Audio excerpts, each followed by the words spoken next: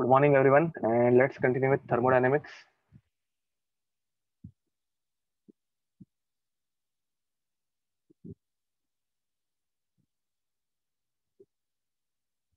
Now, in case of thermodynamics, we are going to draw VT and PT graph for this PV graph. ठीक है तो सबसे पहले तो हम लोगों को VT और PT यही दो ग्राफ और एक्स्ट्रा के ड्रॉ करने बोल सकते हैं वो तीन टाइप के ग्राफ है PV, VT एंड PT. तो ये यहाँ पे हम लोग ड्रॉ करेंगे PT VT ग्राफ एंड यहाँ पे हम लोग ड्रॉ करेंगे पीटी ग्राफ ठीक है? तो चलो, देखते हैं कैसे होने वाला है। तो first of all VT and PT graph हम लोगों को ड्रॉ करना है, ठीक है? VT एंड PT ग्राफ हम लोगों को ड्रॉ करना है। एंड यहाँ पे सारी के सारे जो प्रोसेसेस है, वो कौन सी प्रोसेस है, वो हम लोगों को डिफाइन करनी है। तो ए बी देखो A B is parallel to V axis and perpendicular to P axis ठीक है? तो पी एक्सिस को परपेंडिकुलर मतलब क्या? तो ए बी पे प्रेशर कांस्टेंट हो गया एंड सिमिलरली डीसी पे भी प्रेशर क्या हो जाएगा? कांस्टेंट हो जाएगा। तो A B and C D ये दो ऐसी प्रोसेस है, जहाँ पे प्रेशर कांस्टेंट है, जिसे हम लोग बोलते हैं करेक्ट बोल रहे हो अथर्व? जिसे हम लोग बोलते हैं आइसोबारिक ठीक है? अब similarly AD and BC sorry D A D से एक ही तरफ़ हम लोग जा रहे हैं ना तो D A and BC process D A and BC process ये दो प्रोसेस जो है, वो परपेंडिकुलर टू एक्स एक्सिस या फिर परपेंडिकुलर टू वी एक्सिस है मतलब वहाँ पे वॉल्यूम जो रहेगा, वो कांस्टेंट रहेगा तो they are called as isobaric process ठीक है? करेक्ट बोल रहे हो? अब इशिता करेक्ट आंसर था स्वयं प्रणव करेक्ट आंसर था। अब यहाँ पे हम लोगों को सबसे पहले तो जो प्रोसेस कांस्टेंट है और जो यहाँ पे प्रेजेंट है, उसको प्लॉट करना है। मतलब वॉल्यूम पे हम लोग इजीली प्रोसेस प्लॉट कर सकते हैं। तो पहले मैं कौन सी प्रोसेस प्लॉट करूँगा? पहले मैं डी ए और बी सी ये प्रोसेस प्लॉट करूँगा। ठीक है? अब फ़र्स्ट ऑफ़ ऑल मुझे बताओ डीए में डीए के केस में वॉल्यूम बहुत हाई है या बहुत लो है? डीए के केस में वॉल्यूम बहुत हाई है या बहुत लो है? तो देखोगे तो डीए के केस में वेरी लो करेक्ट बोल रहे हो? देखो, यहाँ पे ये इनिशियल स्टेज पे ही इंटरसेप्ट कर रहा है यहाँ पे। तो ज़ीरो से बहुत कम डिस्टेंस पे आके वॉल्यूम है मतलब ये बहुत लो है, ठीक है? तो तुम लोगों को ऐसे एक एक पॉइंट पकड़ने आने चाहिए। तो डीए पे वॉल्यूम बहुत लो है। अब ये कितना बड़ा ग्राफ आएगा, मुझे पता नहीं है तो मैं पूरा एक बड़ा, बड़ी सी लाइन ड्रॉ कर ले रहा हूँ, ठीक है? डीए पे वॉल्यूम बहुत कम है। एंड सिमिलरली बीसी पे वॉल्यूम बहुत ज़्यादा है। बीसी पे वॉल्यूम बहुत ज़्यादा है। ठीक है? तो ये हो गई तुम लोगों की डीए और बीसी की लाइन अब ये कहाँ से कहाँ पे जाएगी? लेफ़्ट टू राइट जाएगी या राइट टू लेफ़्ट आएगी, वो हम लोगों को प्रेडिक्ट करना है. अब मुझे बताओ डीए के केस में टेम्परेचर बढ़ रहा है या कम हो रहा है? डीए के केस में प्रेशर बढ़ रहा है या कम हो रहा है? तो pressure is directly proportional to temperature ये हम लोगों का लॉ है. हम लोगों को ये पता है. ठीक है? ये कौन सा लॉ है? तो ये गेलिजैक्स लॉ है. और ये कब अप्लाई होता है एट कॉन्स्टेंट वॉल्यूम तो कांस्टेंट वॉल्यूम पे pressure directly proportional to temperature है एंड डीए में प्रेशर जो है वो बढ़ते जा रहा है वेरी नाइस प्रेशर जो है वो बढ़ते जा रहे हैं, आदित्य करेक्ट आंसर है। तो प्रेशर अगर बढ़ते जाएगा and pressure is directly proportional to temperature तो यहाँ पे टेम्परेचर भी बढ़ते जाना चाहिए तो डीए इस डायरेक्शन में आएगा डीए इस डायरेक्शन में आएगा। समझ में आ रहा है? एंड उसी के अपोजिट डायरेक्शन में देखो बीसी था।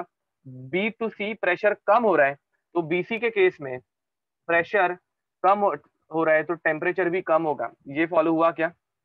देखो, ये दो लाइन तुम लोगों को फॉलो होनी चाहिए। आई गेस हो गई होगी। एरोस की पोजीशन बहुत इंपॉर्टेंट रहती है तो वो भी समझ में आ जाएगी। ठीक है? अब नेक्स्ट हम लोगों को क्या देखना है? नेक्स्ट हम लोगों को आइसोबैरिक प्रोसेस ड्रॉ करनी है।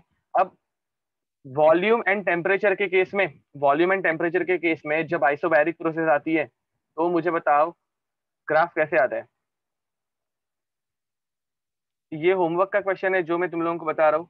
तो volume is directly proportional to temperature at constant volume sorry at constant pressure isobaric process में याद रखना कांस्टेंट प्रेशर रहता है तो volume is directly proportional to temperature रहता है। And Ishita very nice correct बोल रहे हो this graph start from origin ये चार्ल्स लॉ है, ये कौन सा लॉ है? ये चार्ल्स लॉ है। एंड चार्ल्स लॉ का ग्राफ जो था वो ओरिजिन से स्टार्ट होता है. वेरी नाइस तो over here this graph will start like this ये ओरिजिन से ऐसे स्टार्ट होगा. ये ओरिजिन से ऐसे स्टार्ट होगा. ठीक है? डॉटेड लाइन बना रहा हूँ बिकॉज़ ये ओरिजिन से स्टार्ट हो रहा है. एंड देन ये ऐसे ऊपर की तरफ़ जाएगा. Then it will go in up ahead upward direction और थोड़ा सा इसको स्टीप बनाता है. uh, एक काम करता हूँ ऐसे करते हैं। हम्म। तो ये ऐसे कुछ जाने वाला है, ठीक है? तो इनिशियल स्टेज पे थोड़ी सी डॉटेड लाइन बना देना सो दैट तुम लोगों को पता रहे कि ये ओरिजिन से ऐसे हम लोग एक्सटेंड करते आ रहे हैं, ठीक है? एंड सिमिलरली दूसरा ग्राफ भी कैसे होने वाला है? तो दूसरा ग्राफ भी सेम आने वाला है। ये दोनों ग्राफ ऐसे ही आएँगे।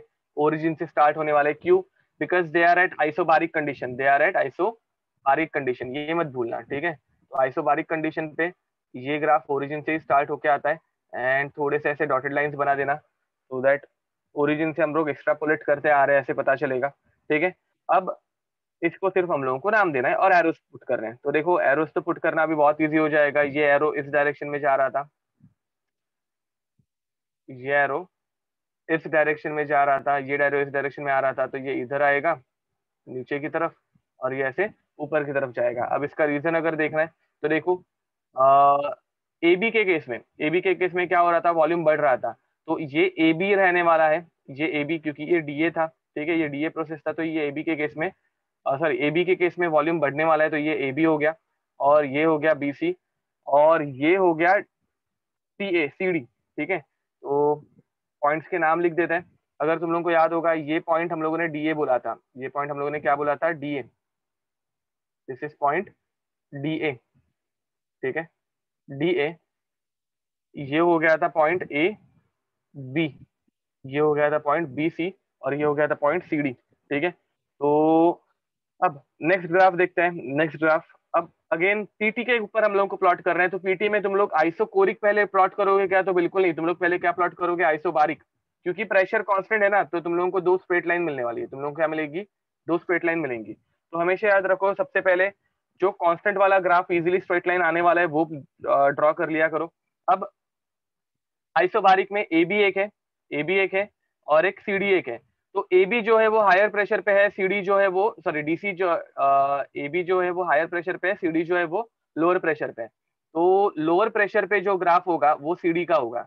लोअर प्रेशर पे जो ग्राफ होगा, वो सी डी का होगा। याद रखना, ये सी डी का ग्राफ आएगा ऐसे कुछ। थोड़ा ऊपर बना लेते हैं। तो ये ग्राफ जो रहेगा वो सी डी का ग्राफ होगा। एंड हायर प्रेशर पे जो ग्राफ होगा, वो ए बी ग्राफ होगा। ठीक है? ये फॉलो हो रहा है ना सबको? हायर प्रेशर और लोअर प्रेशर में कैसे निकाल रहा हूँ?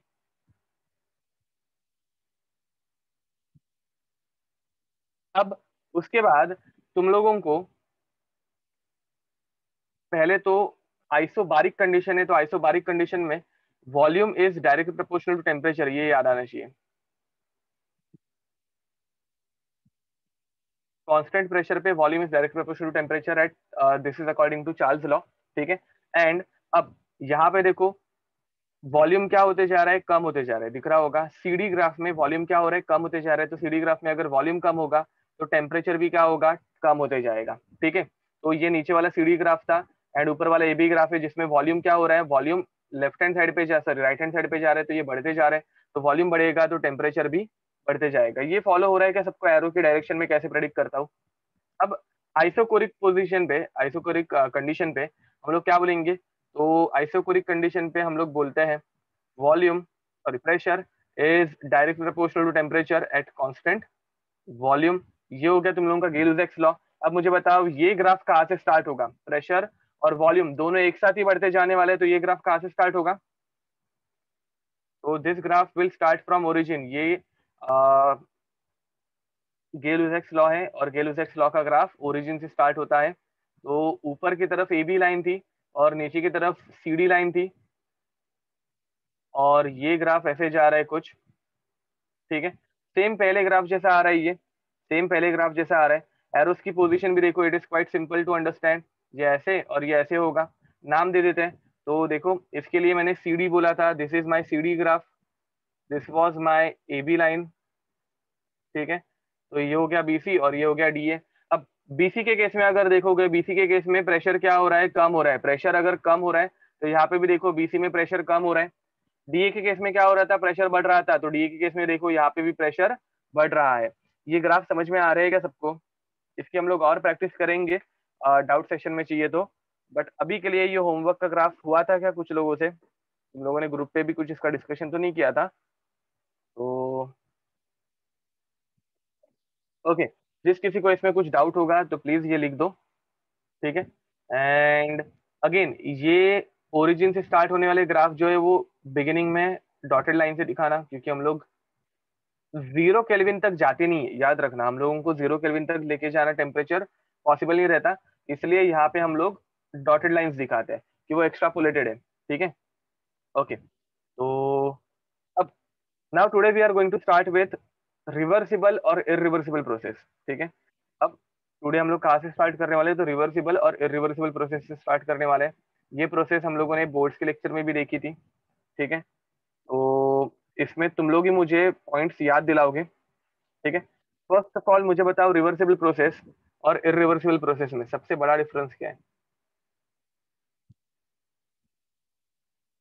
Reversible process. थर्मोडाइनमिक्स में दो प्रोसेसेस बहुत बार होती है। एक रहती है रिवर्सिबल प्रोसेस और दूसरी रहती है इरिवर्सिबल प्रोसेस ठीक है? तो इन दोनों में सबसे बड़ा डिफरेंस क्या है? इन दोनों में सबसे बड़ा डिफरेंस क्या है?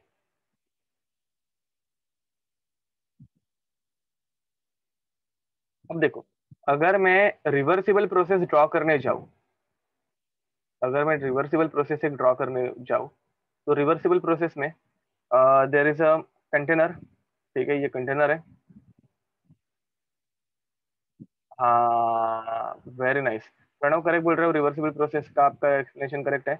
Uh, मैं अभी इरिवर्सिबल प्रोसेस ड्रॉ कर रहा हूँ ना बाय द वे तो मैंने गलती से रिवर्सिबल बोला आई गेस तो अगर मैं एक इरिवर्सिबल प्रोसेस ड्रॉ करने जाऊँ तो मैं कैसे ड्रॉ कर सकता हूँ? तो दिस इज़ माई प्रोसेस ठीक है। एक पिस्टन है इक्विलिब्रियम पे सिस्टम है। सिस्टम क्या है? तो इक्विलिब्रियम पे है। एंड इक्विलिब्रियम पे इसके अंदर कोई एक गैस है। एंड ये पिस्टन जो है, वो अपनी एक सिंपल एक पोजीशन मेंटेन करके बैठा है। ठीक है? अपनी एक कांस्टेंट पोजीशन मेंटेन करके बैठा है ये। ठीक है? तो मतलब system is at equilibrium system is at equilibrium so हम करेक्ट आंसर बोल रहे हो। एंड अचानक भयानक मैंने बाहर से दो एक एक किलो की, एक एक किलो की सैंड बैग लाके इसके ऊपर रख दी। एक एक किलो की सैंड बैग इसके ऊपर लाके रख दी, ठीक है? ये एक किलो की एक सैंड बैग है। One K ji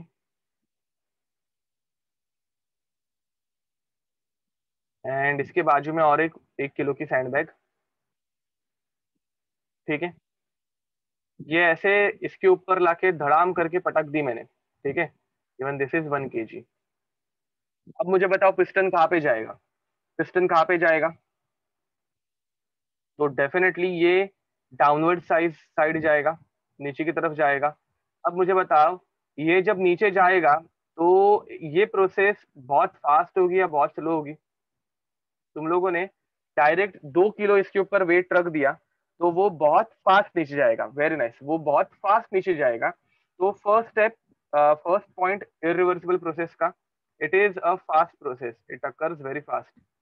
It occurs very fast. ठीक है? अब मुझे बताओ गैस इस प्रोसेस को रेजिस्ट कर सकती है क्या? मतलब इसको रिवर्स में लेके जा सकती है क्या? गैस खुद इस प्रोसेस को रिवर्स में लेके जा पाएगी अभी। इतना ज़्यादा वज़न अगर तुम लोगों ने उसके ऊपर रख दिया तो मुझे बताओ गैस इस प्रोसेस को रिवर्स में लेके जा पाएगी क्या? नहीं लेके जा पाएगी करेक्ट बोल रहा हूँ। तो process cannot be reversed process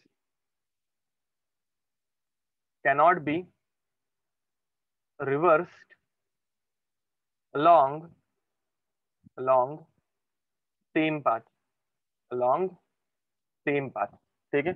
याद रखो, यहाँ पे जो प्रोसेस है, वो रिवर्स डायरेक्शन में हम लोग सेम पाथ पे नहीं लेके जा पाएँगे। अब उसी बदले इरिवर्सिबल प्रोसेस का एग्जांपल देखते हैं। ठीक है? इरिवर्सिबल प्रोसेस का एग्जांपल देखते हैं।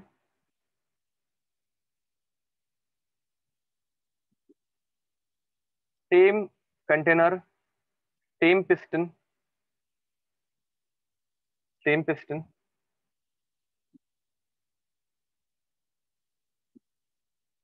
same pressure और सेम अमाउंट की गैस है। सेम प्रेशर भी है और सेम अमाउंट की गैस भी है। अब मैं तुम लोगों को बोल रहा हूँ कि इसके ऊपर तुम लोगों को अभी फिर से दो के जी सैंड अप्लाई करना है। दो के जी सैंड रखनी है, ठीक है? बट अभी कंडीशन अलग है। पहले मैंने तुम लोगों को दो सैंड बैग्स दे दी थी, बोरिया दे दी थी और तुम लोगों ने उसको डायरेक्ट वहाँ पे रख दिया था। बट अब जरा कंडीशन डिफरेंट है। अभी हम लोगों को क्या करना है? तो now we want to put each and every sand grain ठीक है? एक एक हम लोग ग्रेन जो है ग्रेनेड बोल दिया था मैंने गलती से, एक एक सैंड ग्रेन जो है, वो हम लोग यहाँ पे पुट करने वाले हैं, ठीक है? अब मुझे बताओ, ये ऐसे करोगे तो प्रोसेस बहुत फास्ट होगी या बहुत स्लो होगी? प्रोसेस जो है, वो बहुत फास्ट होगी या बहुत स्लो होगी? तो perfect it will occur very slowly it will occur very slowly and slow slowly slowly slowly slowly करके एक साल गया, दो साल गया, तुम लोगों ने इधर दो किलो सैंड रख दी एक एक करके, तुम लोगों ने इधर दो किलो सैंड रख दी, ठीक है? तो फ़र्स्ट पॉइंट रिवर्सिबल प्रोसेस में तुम लोग क्या लिखोगे? It occurs very slowly it occurs slow ठीक है? पॉइंट नंबर टू अब मुझे बताओ, जैसे ही मैंने एक सैंड का पार्टिकल रखा तो उसको निकालना मेरे लिए बहुत डिफ़िकल्ट है क्या? या फिर गैस को उसको अपोजिट डायरेक्शन में पुश करना बहुत डिफ़िकल्ट है क्या? तो definitely it is not difficult तो दिस प्रोसेस इज़ रिवर्सिबल तो process process can be reversed can be reversed along the same path. Along the same path. मतलब क्या? तो तुम लोग एक एक करके सैंड ग्रेन अगर सैंड ग्रेन अगर निकालते गए निकालते गए तो प्रोसेस वापस रिवर्स डायरेक्शन में चली जाएगी सेम पाथ को फॉलो करते हुए, ठीक है? अब मुझे बताओ, यहाँ पे this process is occurring in one step और नॉट तो definitely it is occurring in one step तो number three it occurs in one step बोलने के बदले finite step finite steps finite steps क्यों बोल रहा हूँ? बिकॉज़ तुम लोगों का मूड थोड़ा चेंज हो गया। तुम लोगों ने पहले एक किलो रखा और उसके बाद दूसरा किलो रखा। तो होगा क्या? तो स्टेप दो प्रोसेस जो है वो दो स्टेप्स में होगी। तो एक स्टेप या फिर दो स्टेप मैक्स टू मैक्स तीन स्टेप में तुम लोग इसको कंप्लीट कर दोगे। ठीक है?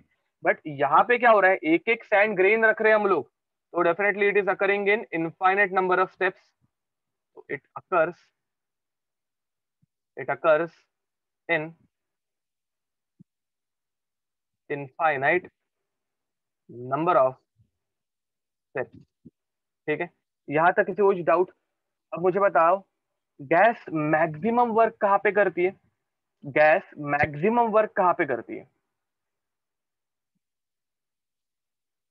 Very nice nice. तो रिवर्सिबल में maximum work is carried out this is the most important point ठीक है? यहाँ पे मैक्सिमम वर्क डन होता है। यहाँ पे मैक्सिमम वर्क डन होता है, जो हम लोगों ने बोर्ड्स के लेक्चर में क्लियर भी किया था। मैक्सिमम वर्क डन एंड यहाँ पे minimum work done, minimum work done. तो this is a important point इसको स्टार मार्क करके रखना या फिर इंपॉर्टेंट लिख के रखना। अब मुझे बताओ, दोनों में से कौन से केस में इक्विलिब्रियम ड्रास्टिकली चेंज होगा? मतलब इक्विलिब्रियम पूरी तरह से डिस्ट्रॉय कर दे रहे हैं हम लोग। दोनों में से कौन से प्रोसेस में इक्विलिब्रियम पूरी तरह से हम लोग डिस्टर्ब कर रहे हैं? रिवर्सिबल या इरिवर्सिबल मुझे बताओ। अंश, नहीं, अनिश करेक्ट आंसर है? ओके सबका करेक्ट आंसर ही आया है। प्रणव, प्रथमेश, आदित्य वेरी नाइस तो इक्विलिब्रियम पूरी तरह से डिस्टर्ब कहाँ पे होगा? तो इक्विलिब्रियम पूरी तरह से डिस्टर्ब होगा इरिवर्सिबल में। तो equilibrium is disturb Equilibrium is disturbed. इसी पॉइंट को हम लोग ऐसे भी लिख सकते हैं इक्विली gas is at equilibrium gas is at equilibrium, is at equilibrium at initial initial and final step ठीक है गैस इक्विलिब्रियम पे कब रहेगी? तो सिर्फ़ इनिशियल और फाइनल स्टेप फाइनल स्टेप मतलब क्या? तो जैसे ही ये पिस्टन नीचे आ गया, समझ लो ये इस पोजीशन पे पहुँच गया, दो किलो वज़न की वजह से ये पिस्टन इस पोजीशन पे पहुँच गया। तो एक बार इस पोजीशन पे आके वो स्टेबल हो गया तो गैस वापस फाइनल स्टेप स्टेप में इक्विलिब्रियम पे आ जाएगी। बट उसके पहले तक वो इक्विलिब्रियम पे नहीं थी, ठीक है? अब नेक्स्ट अब मुझे बताओ रिवर्सिबल प्रोसेस में एक एक ग्रेड अगर हम लोग ऐड करेंगे तो इक्विलिब्रियम ये हर स्टेप पे रहेगा या नहीं रहेगा? तो रिवर्सिबल में gas is at gas is at equilibrium in each and every step ठीक है? तो ये हो गया रिवर्सिबल के लिए।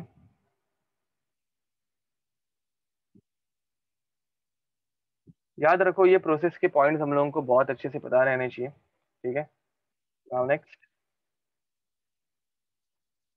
ओके मुझे बताओ पहले बाहर की तरफ़ प्रेशर था पी एक्सटर्नल पहले बाहर की तरफ़ प्रेशर था पी एक्सटर्नल तुम लोगों ने एक सैंड ग्रेन रख दिया तुम लोगों ने एक सैंड ग्रेन रख दिया। आ, आ, उसके पहले पहले देखो, बाहर का प्रेशर था पी एक्सटर्नल और ये प्रेशर बाहर से एक्सर्ट हो रहा था, ये प्रेशर बाहर से एक्सर्ट हो रहा था और इसे काउंटर बैलेंस करने के लिए कौन सा प्रेशर था? तो इसे काउंटर बैलेंस करने के लिए प्रेशर इंटरनल था या फिर प्रेशर ऑफ़ गैस था या फिर प्रेशर ऑफ़ गैस था, जिसे हम लोग बोलेंगे पी ऑब्वियस है?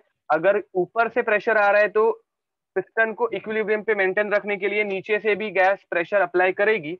अब मुझे बताओ, जैसे ही मैंने एक सैंडग्रेन रख दिया, जैसे ही मैंने एक सैंडग्रेन रख दिया तो प्रेशर पी एक्सटर्नल में मैंने थोड़ा सा एक्स्ट्रा का प्रेशर ऐड कर दिया। ये फॉलो हो रहा है क्या देखो?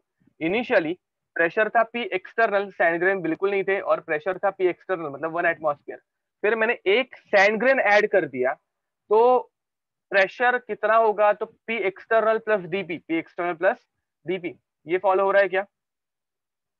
अब मुझे बताओ, गैस का इंटरनल प्रेशर गैस का इंटरनल प्रेशर जो रहेगा, जिसे हम लोग पी बोलने वाले हैं, उसमें और पी एक्सटर्नल पहले ये दोनों क्या थे? पहले ये दोनों इक्वल थे, पहले ये दोनों क्या थे?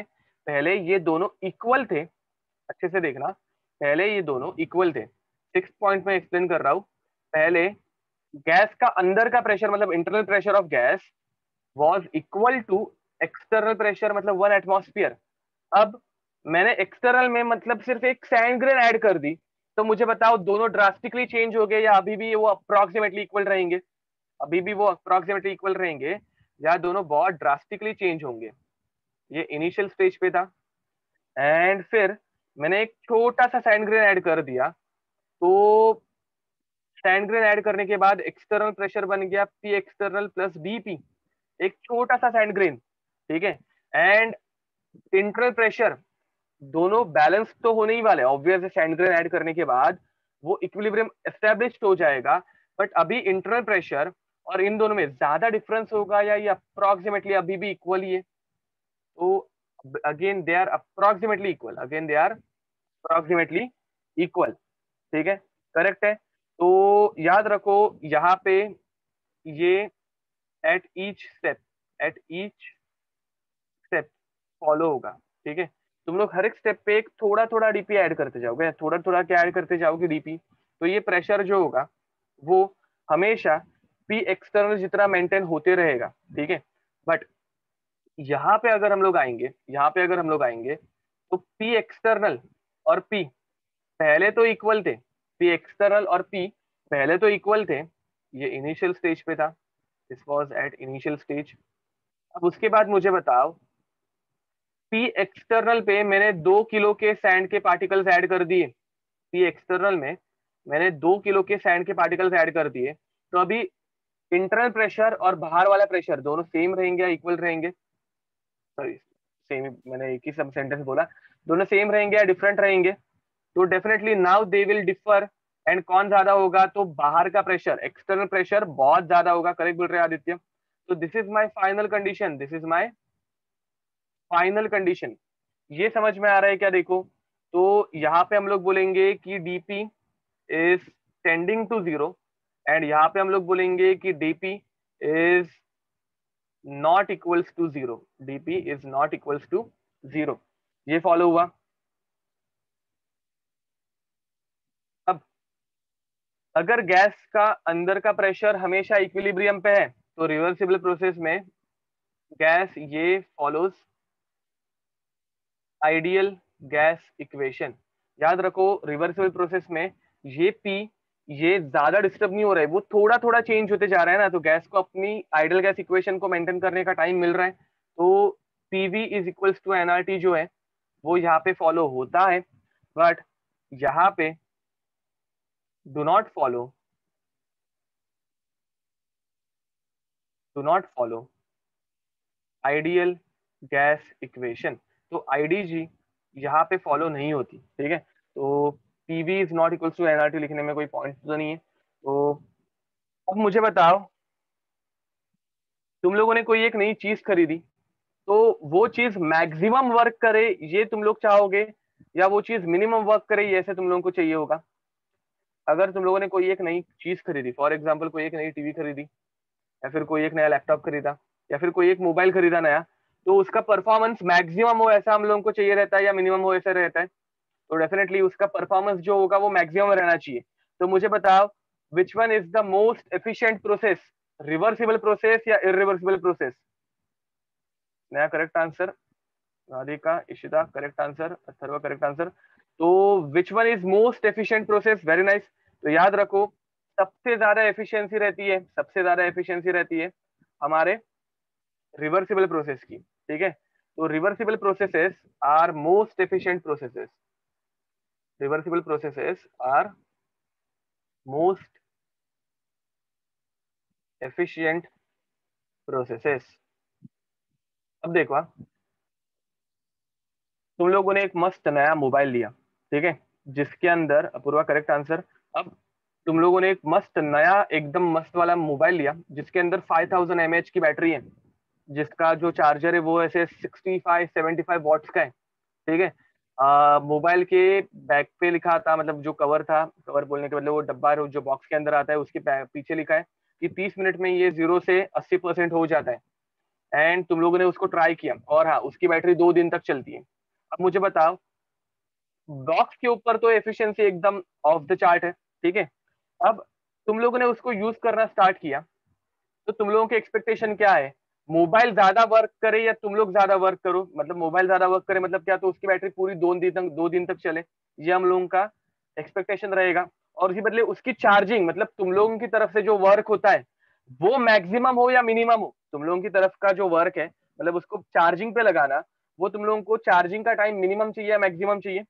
तो मिनिमम चाहिए। तो देखो mobile is our system mobile क्या है, हमारा हमारा सिस्टम है। तो एफिशिएंट प्रोसेस कब होगी? जब वर्क डन बाय सिस्टम जो रहता है एफिशिएंट प्रोसेस कब होगी? जब वर्क डन बाय सिस्टम जो है वर्क डन बाय सिस्टम जो है, वो मैक्सिमम होना चाहिए या मिनिमम मोबाइल एक दिन चलना चाहिए दो दिन? तो definitely we will want it to work for two days ठीक है? तो वर्क डन बाय सिस्टम जो होगा, वो मैक्सिमम होना चाहिए। बट उसका चार्जिंग टाइम मतलब वर्क डन बाय सराउंडिंग हमारी तरफ़ से जो वर्क डन होगा वर्क डन बाय सराउंडिंग ये मैक्सिमम होना चाहिए मिनिमम होना चाहिए? मोस्ट एफिशिएंट प्रोसेस के लिए। तो definitely it should be minimum concept follow हो रहा है ना? समझ में आ रहा है? याद रखो, हम लोगों को आदत क्या है कि भाई एक लीटर पेट्रोल डालो और सौ किलोमीटर भागो, ठीक है? तो हम लोगों को मोस्ट एफिशिएंट प्रोसेस चाहिए। वैसे भी अभी पेट्रोल तो महँगा ही हो गया तो process must be most efficient and most efficient process कब होती है? तो रिवर्सिबल में होती है। And ninth point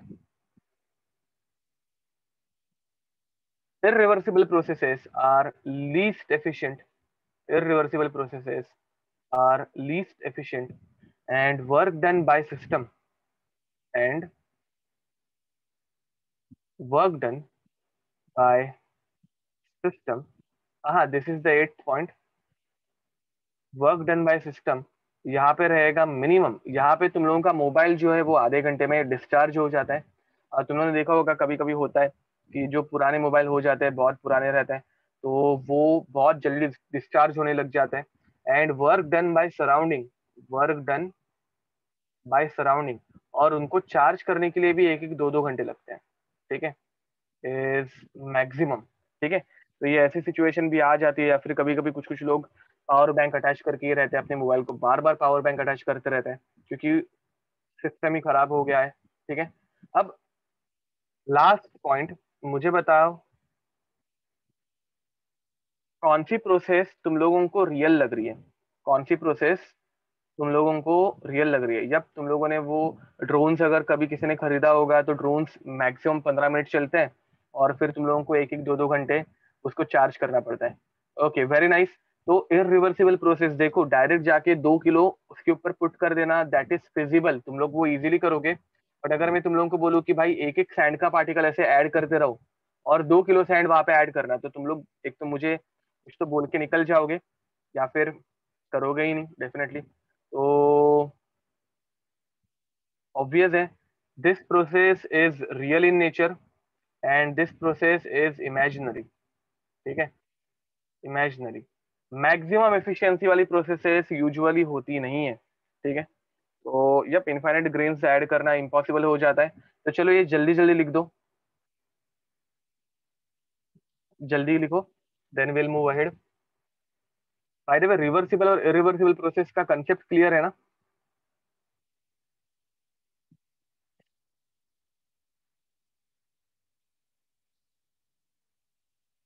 ओके हो गए लिख के सबके पॉइंट्स किसी का बाकी होगा तो हैंड रेस करो या फिर मैसेज पे डाल दो।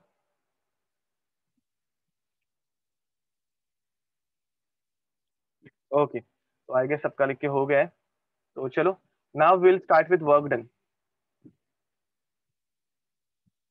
अब वर्क डन का हम लोग एक यूनिवर्सल फॉर्मूला डिराइव करने वाले हैं, ठीक है? एंड वर्क डन का जो मतलब वर्क डन के हम लोगों ने दो फॉर्मूलाज एंट्रेंस एंट्रेंस बोर्ड्स के टाइम पे पढ़े थे। और यहाँ पे हम लोग एक से ज़्यादा फॉर्मूलाज यूज़ करने वाले हैं, ठीक है? तो पहले तो हम लोग वर्क डन का एक सिंपल फॉर्मूला डिराइव करेंगे।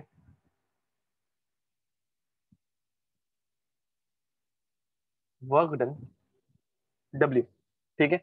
अब यहाँ पे हम लोग जो वर्क डन देखते हैं, वो हम लोग देखते हैं pressure volume work done pressure volume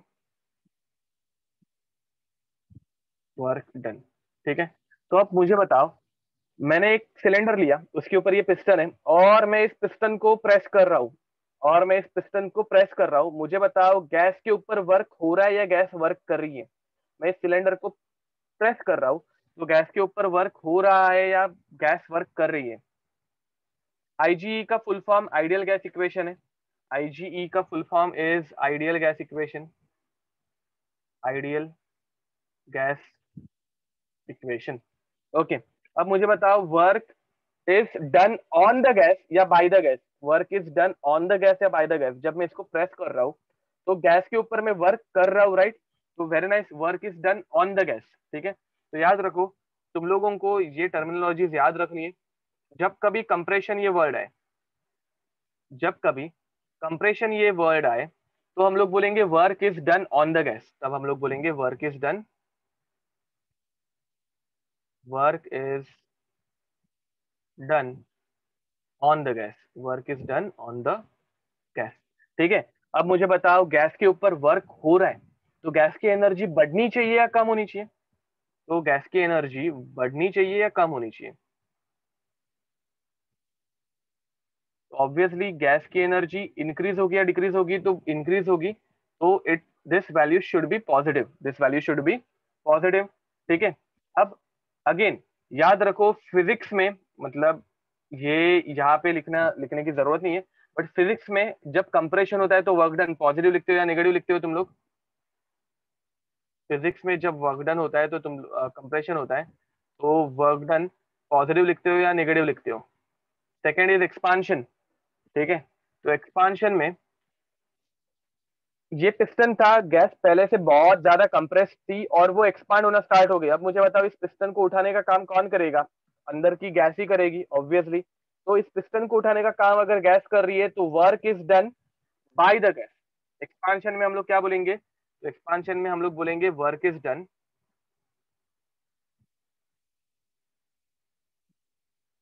work is done by the gas by the gas ठीक है? एंड यहाँ पे अब मुझे बताओ गैस अगर वर्क डन कर रही है गैस अगर वर्क डन कर रही है तो डब्ल्यू की वाली क्या हो जाएगी? गैस की एनर्जी वर्क करते करते कम होना स्टार्ट हो जाएगी तो डब्ल्यू की वाली हो जाएगी नेगेटिव डब्ल्यू की वाली हो जाएगी नेगेटिव करेक्ट बोल रहे हो विशिता तो हम करेक्ट आंसर था। अब याद रखो फिजिक्स में, सिर्फ़ फिजिक्स पॉइंट ऑफ़ व्यू में बता दे रहा हूँ फिजिक्स में कंफ्यूजन नहीं रहना चाहिए, इसलिए बाद में तुम लोग जब कोरिलेट करने जाओगे तो फिजिक्स में यही चीज़ नेगेटिव रहती है। जब केमिस्ट्री में वर्क डन हम लोग पॉजिटिव बोलते हैं तो फिजिक्स में यही चीज़ हम लोग नेगेटिव बोलते हैं। एंड फिजिक्स में एक्सपांशन का वर्क डन तुम लोग बोलते हो पॉजिटिव एक्सपांशन का वर्क डन तुम लोग बोलते हो पॉजिटिव ठीक है? तो फिजिक्स में उल्टा है और केमिस्ट्री में ऐसा है। ऐसा क्यों? या फिर फिजिक्स में सीधा है और केमिस्ट्री में उल्टा है, ऐसा क्यों? तो ये जो हम लोगों को टर्मिनोलॉजीज बताई है या फिर ये जो यूनिट्स हम लोगों को, या फिर साइन कन्वेंशन हम लोगों को जो बताया है, वो बताया है आईयूपीएससी में। वो बताया है आईयूपीएससी ने, ठीक है? आईयूपीएससी ने गैस के परस्पेक्टिव से देखा है और फिजिक्स में हम लोग हमारे पर्सपेक्टिव से देखते हैं, ठीक है? तो दोनों जगह पे पर्सपेक्टिव चेंज हो जाता है। फिजिक्स में तुम लोग देखते हो कि अरे गैस के ऊपर हम लोगों ने वर्क किया तो हमारी एनर्जी कम हुई। समझ में आ रहा है? फिजिक्स में तुम लोग क्या देखते हो कि गैस पे हमने वर्क किया तो हमारी एनर्जी कम हो गई तो work done is negative and यहाँ पे एक्सपांशन के टाइम पे गैस ने वर्क किया है तो मुझे एनर्जी मिली तो वर्क डन इज़ पॉजिटिव ठीक है? तो ये हम लोग यहाँ पे नहीं कंपेयर करेंगे फिजिक्स वाला पार्ट फिजिक्स में। याद रखो पेपर के टाइम पे तुम लोगों को ये जरा क्वेश्चन लेना पड़ता है। फिजिक्स का अगर सॉल्व करोगे तो वर्क डन वहाँ पे तुम लोगों को फिजिक्स के कन्वेंशन के हिसाब से यूज़ कर रहे हैं। केमिस्ट्री वाला जब सॉल्व करोगे तो तुम लोगों को केमिस्ट्री के हिसाब से सॉल्व करना है, ठीक है? तो ये याद रखना कंफ्यूज मत होना प्लीज़ ठीक है? तो अब वर्क डन देखते हैं, एक सिनेरियो इमेजिन करते हैं। तो मेरे पास एक कंटेनर है I have a container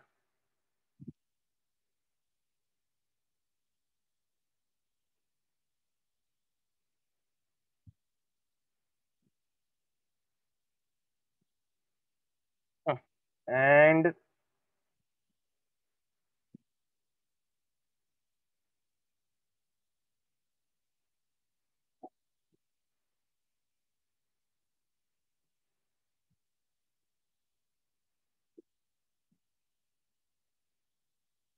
okay.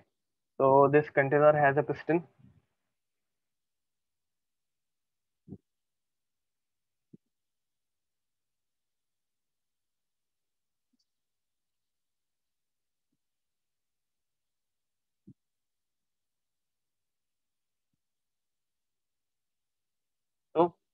ये कंटेनर है और कंटेनर के ऊपर एक पिस्टन है, ठीक है?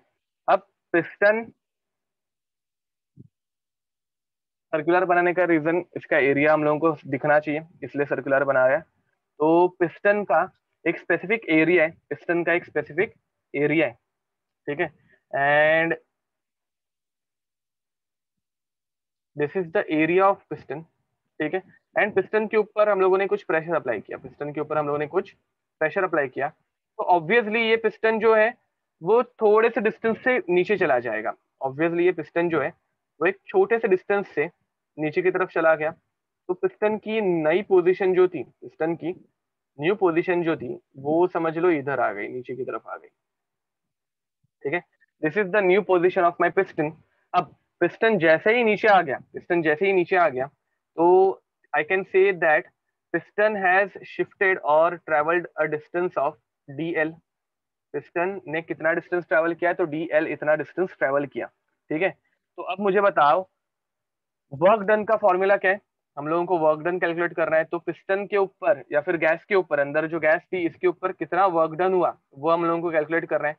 अब कंप्रेशन हो रहा है तो ऑब्वियसली वर्क डन क्या होना चाहिए? तो ऑब्वियसली वर्क डन होना चाहिए।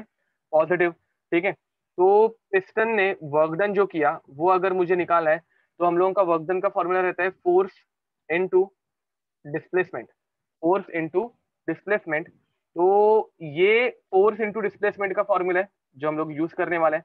अब अगर यहाँ पे देखोगे तो डिस्प्लेसमेंट इतना ही हो रहा है। डिस्प्लेसमेंट कितना हो रहा है? डीएल जितना हो रहा है। तो मैं डीएक्स को ही डीएक्स को ही मैं बोल सकता हूँ कि dx is nothing but dl dx is nothing but dl ये तो समझ में आ गया होगा। ठीक है? अब फोर्स का फॉर्मूला क्या रहता है? तो फोर्स का फॉर्मूला रहता है force is nothing but pressure into area why because pressure is nothing but force upon area तो फोर्स अपॉन एरिया का एरिया प्रेशर से मल्टीप्लाई कर दोगे तो तुम लोगों को फोर्स अपने आप मिल जाएगा। हाँ सॉरी गाइज़ यहाँ पे डी डब्ल्यू आना चाहिए। हम लोग छोटा सा वर्क डन देख रहे हैं ना, ये डीएल डिस्टेंस में जितना वर्क डन हुआ है वो देख रहे हैं। तो यहाँ पे डी डब्ल्यू आना चाहिए डीएक्स के लिए।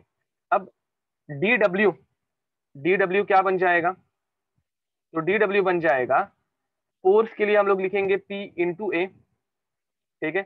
एंड एक्स के लिए हम लोग डीएक्स के लिए हम लोग लिखेंगे डी एल तो डी डब्ल्यू एक थोड़ा सा छोटा सा जो वर्क डन होने वाला है, उसकी वैल्यू क्या आ जाएगी? तो देखो area into displacement area into displacement अगर हम लोग देखेंगे तो this part is nothing but change in volume this part is nothing but change in volume तो हम लोग इसको लिख सकते हैं D W is nothing but P D V D W is nothing but P D V ये समझ में आया क्या सबको? ये सबको समझ में आया क्या? डी डब्ल्यू मतलब एक छोटा सा वर्क डन इस, इतने एरिया को शिफ्ट करने के लिए या फिर इतने वॉल्यूम को शिफ्ट करने के लिए जो वर्क डन होगा उसे हम लोगों ने बोला डी डब्ल्यू उसे हम लोगों ने बोला डी डब्ल्यू ठीक है? अब ये जो कुछ हम लोगों ने डिराइव किया है that is according to physics that is according to physics ठीक है? बट केमिस्ट्री में साइन उल्टी हो जाती है। तो साइन अगर उल्टी हो जाती है तो इस, इधर हम लोग एक माइनस साइन अटैच कर देंगे। ठीक है? ये माइनस साइन क्यों आई थी? वो हम लोगों ने बोर्ड में अच्छा खासा डिस्कस किया था। तो आई ने बोला, उल्टा लिखना लिखना है तो हम लोगों ने उल्टा लिखना स्टार्ट कर दिया। अब देखो this formula is for a small change this formula is for a small change अब हम लोगों को क्या करना है? हम लोगों को एक बड़े चेंज के लिए अगर निकालना है, समझ लो ये पिस्टन कल उठा के मैंने इधर तक ला दिया। तो कितना चेंज होगा? वो अगर मुझे निकालना है तो ये स्मॉल स्मॉल चेंजेस में ऐड करूँगा। मतलब what I will do I will integrate it I will do what I will integrate it तो होगा क्या? इंटीग्रेशन ऑफ़ डी डब्ल्यू integration of dw is equals to minus integration of p dv from v1 to v2 तो final answer क्या आ जाएगा? Integration of D W will become W integration of D W will become W is equals to minus integration of p dv from v1 to v2 ठीक है? तो लिख दो ये। जब हम लोग तुम लोगों को अगर याद होगा तो मैंने तुम लोगों को बताया था, ये बाहर के प्रेशर को हम लोग पी एक्सटर्नल बोलते हैं। तो एंट्रेंस में हम लोग वो पी एक्सटर्नल बार बार लिखते नहीं बैठेंगे बट बोर्ड्स में वो फॉर्मूलाज भी तुम लोगों को बोर्ड्स के एग्ज़ाम में बहुत इंपॉर्टेंट रहते हैं, अगर तुम लोगों को पता होगा। बोर्ड्स के एग्ज़ाम में फॉर्मूला के लिए ही हाफ़ मार्क रहता है। तो हम लोग वहाँ पे बार बार पी एक्सटर्नल लिख रहे थे। यहाँ पे वो लिखने की ज़रूरत है ही नहीं। हम लोगों को पहले से पता है that is it is a external pressure ठीक है? तो यहाँ पे वो लिखने की ज़रूरत नहीं है। एंट्रेंस में तुम लोगों को सिर्फ़ आंसर टिक करके आने हैं तो फॉर्मूला कोई पूछने ही नहीं वाला है। यहाँ पे पी एक्सटर्नल कॉन्स्टेंट होगा कि नहीं, वो हम लोग अभी देखेंगे। See this is the universal formula this is the universal formula लिख देना। ये फॉर्मूला तुम लोग किधर भी अप्लाई कर सकते हो। This is the universal formula अब ये फॉर्मूला हम लोग दो प्रोसेस के लिए अप्लाई करेंगे, एक रिवर्सिबल दूसरी इरिवर्सिबल ठीक है? एक फॉर्मूला हम लोग अप्लाई करेंगे मतलब ये फॉर्मूला हम लोग दो प्रोसेस के लिए अप्लाई करने वाले एक रिवर्सिबल और दूसरी इरिवर्सिबल तो यहाँ तक लिख के हो गया क्या? यहाँ तक हो गया लिख के? ओके लिख दो कंप्लीट कर दो। देखो, ये सेम इक्वेशन हम लोगों ने की थी, सिर्फ़ यहाँ पे अभी इंटीग्रेशन आने वाला है, ठीक है? बोर्ड्स में तुम लोगों को डायरेक्ट फॉर्मूलाज मिल जाते हैं और यहाँ पे हम लोग फॉर्मूला एकदम अच्छे से स्टेप बाय स्टेप डिराइव करते जाएँगे और कुछ नहीं।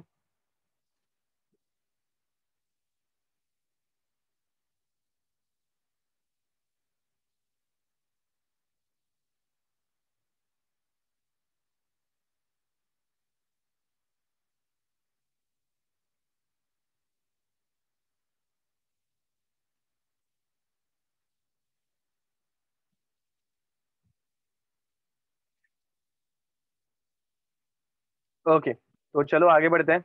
अब we will start with irreversible process we will start with irreversible process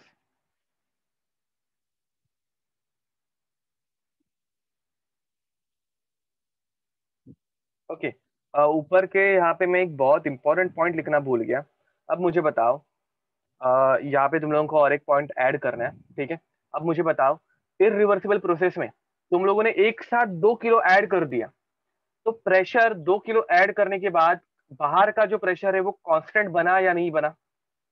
एक साथ तुम लोगों ने दो किलो ऐड किया और उसी बदले यहाँ पे तुम लोग क्या कर रहे हो? बार बार एक एक ग्रेन ऐड करते जा रहे हो एक एक ग्रेन ऐड करते जा रहे हो। तो यहाँ पे एक एक ग्रेन जब हम लोग ऐड करेंगे तो प्रेशर बार बार चेंज हो रहा है। बट यहाँ पे तुम लोगों ने एक साथ दो किलो रख दिए तो प्रेशर जो चेंज होगा वो एक ही टाइम पे चेंज होगा और उसके बाद इट विल बिकम कॉन्स्टेंट तो याद रखो इरिवर्सिबल प्रोसेस यहाँ पे लिख देते हैं डायग्राम के इधर ही। Irreversible process are constant pressure process they are constant pressure process and this is a very important point and उसी बदले रिवर्सिबल जो रहता है रिवर्सिबल जो रहता है it is a variable it is a variable pressure process ठीक है? तो जब तो याद रखो, यहाँ पे इरिवर्सिबल प्रोसेस में तुम लोग क्या बोलोगे? कांस्टेंट प्रेशर रहेगा। यहाँ पे क्या रहेगा? कांस्टेंट प्रेशर ठीक है? बट कांस्टेंट प्रेशर कब होगा? जब तुम लोग उसके ऊपर वेट रखोगे या फिर वेट निकालोगे। हम लोग एक ही टाइम पे सारा चेंज लाते हैं तो वो कांस्टेंट हो जाता है, ठीक है? तो प्रेशर यहाँ पे कांस्टेंट होगा। उसी बदले अगर मैं इरिवर्सिबल की बात करूँ सॉरी रिवर्सिबल की बात करूँ तो रिवर्सिबल में कैसे होने वाला है? तो यहाँ पे वेरिएबल प्रेशर होगा। ठीक है?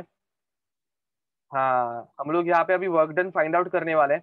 ठीक है? इरिवर्सिबल के लिए और रिवर्सिबल के लिए। तो यहाँ पे reversible process reversible process and specifically हम लोग पहले से आइसोथर्मल प्रोसेस लेने वाले कौन सी? तो आइसोथर्मल एंड यहाँ पे वेरिएबल क्या होगा? तो वेरिएबल प्रेशर होगा। ठीक है? तो temperature constant but variable pressure लेने वाले हैं। यहाँ पे इरिवर्सिबल प्रोसेस ये फॉर्मूला हर एक को अप्लीकेबल है। ये अभी यहाँ पे हम लोग जो फॉर्मूला डिराइव करेंगे, वो सिर्फ़ और सिर्फ़ आइसोथर्मल के लिए एप्लीकेबल होगा। ठीक है? तो चलो दोनों चीज़ें हम लोगों ने पहले से की है, वापिस एक बार कर लेते हैं।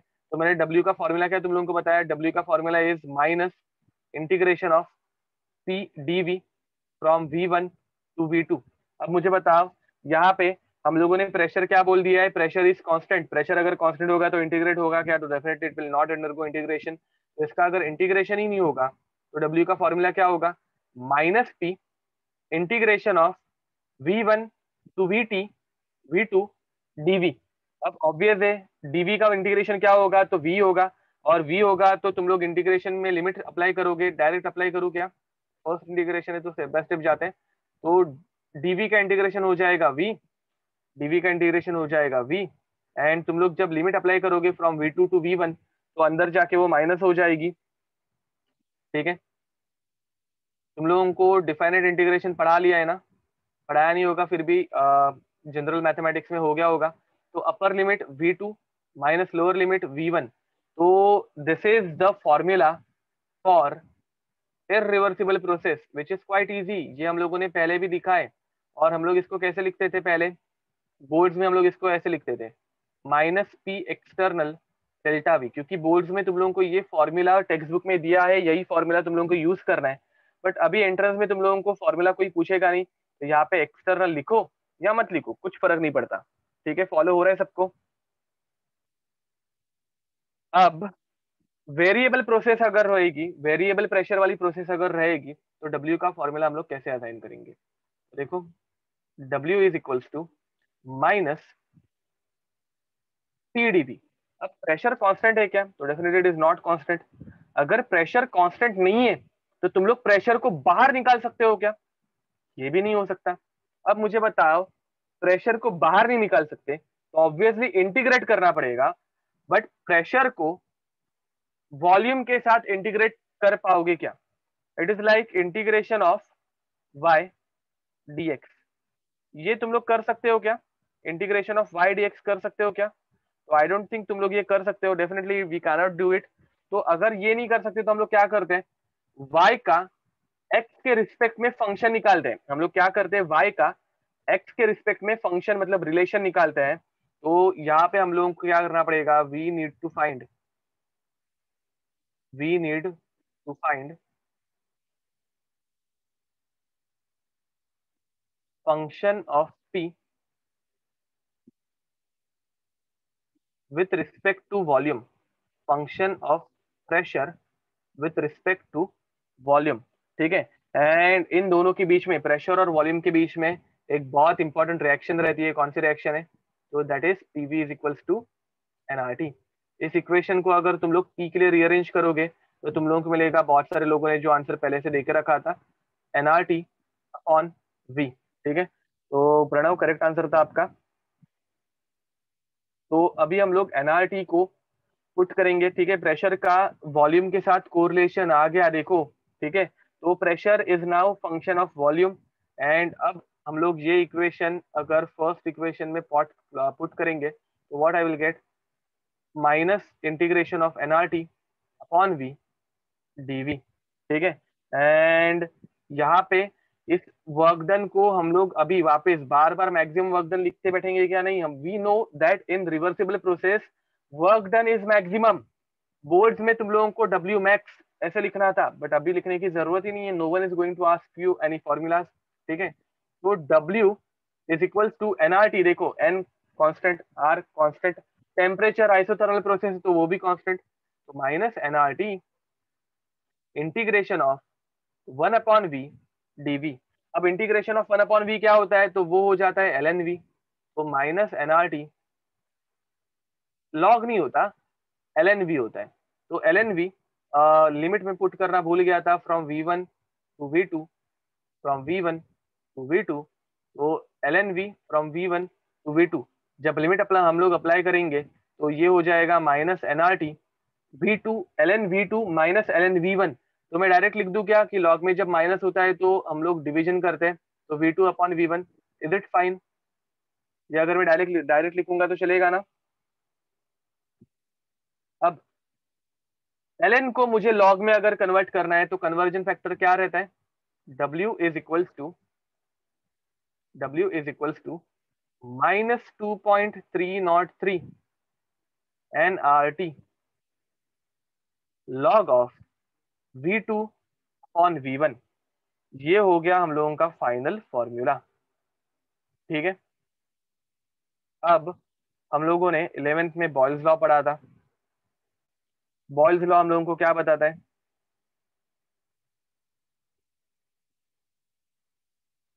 Boyle's law tells us P1 V1 is equals to P2 V2 तो हम लोगों को अभी V2 अपन V1 चाहिए तो V2 अपन V1 के लिए V2 के नीचे चला जाएगा। तो क्या बनेगी equation P1 upon P2 is equals to V2 upon V1 ठीक है? तो यही वैल्यू अगर हम लोग यहाँ पे पुट कर देंगे तो V2 अपॉन V1 की वैल्यू अगर हम लोग यहाँ पे पुट कर रहे हैं तो W का एक नया फॉर्मूला भी बनेगा। याद रखो this is W max which is nothing but minus two point three nought three NRT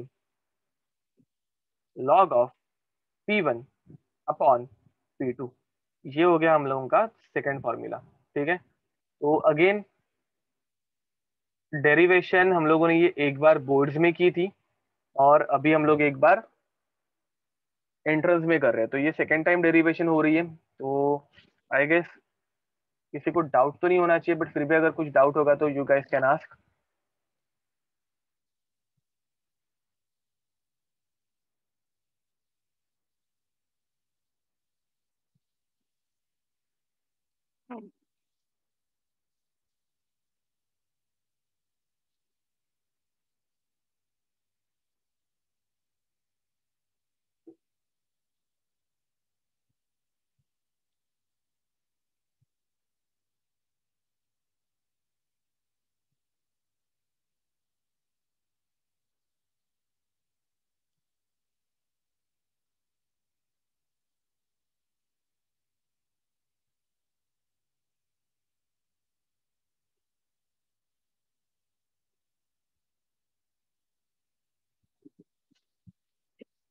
okay तो चलो आगे बढ़ बढ़ते हैं।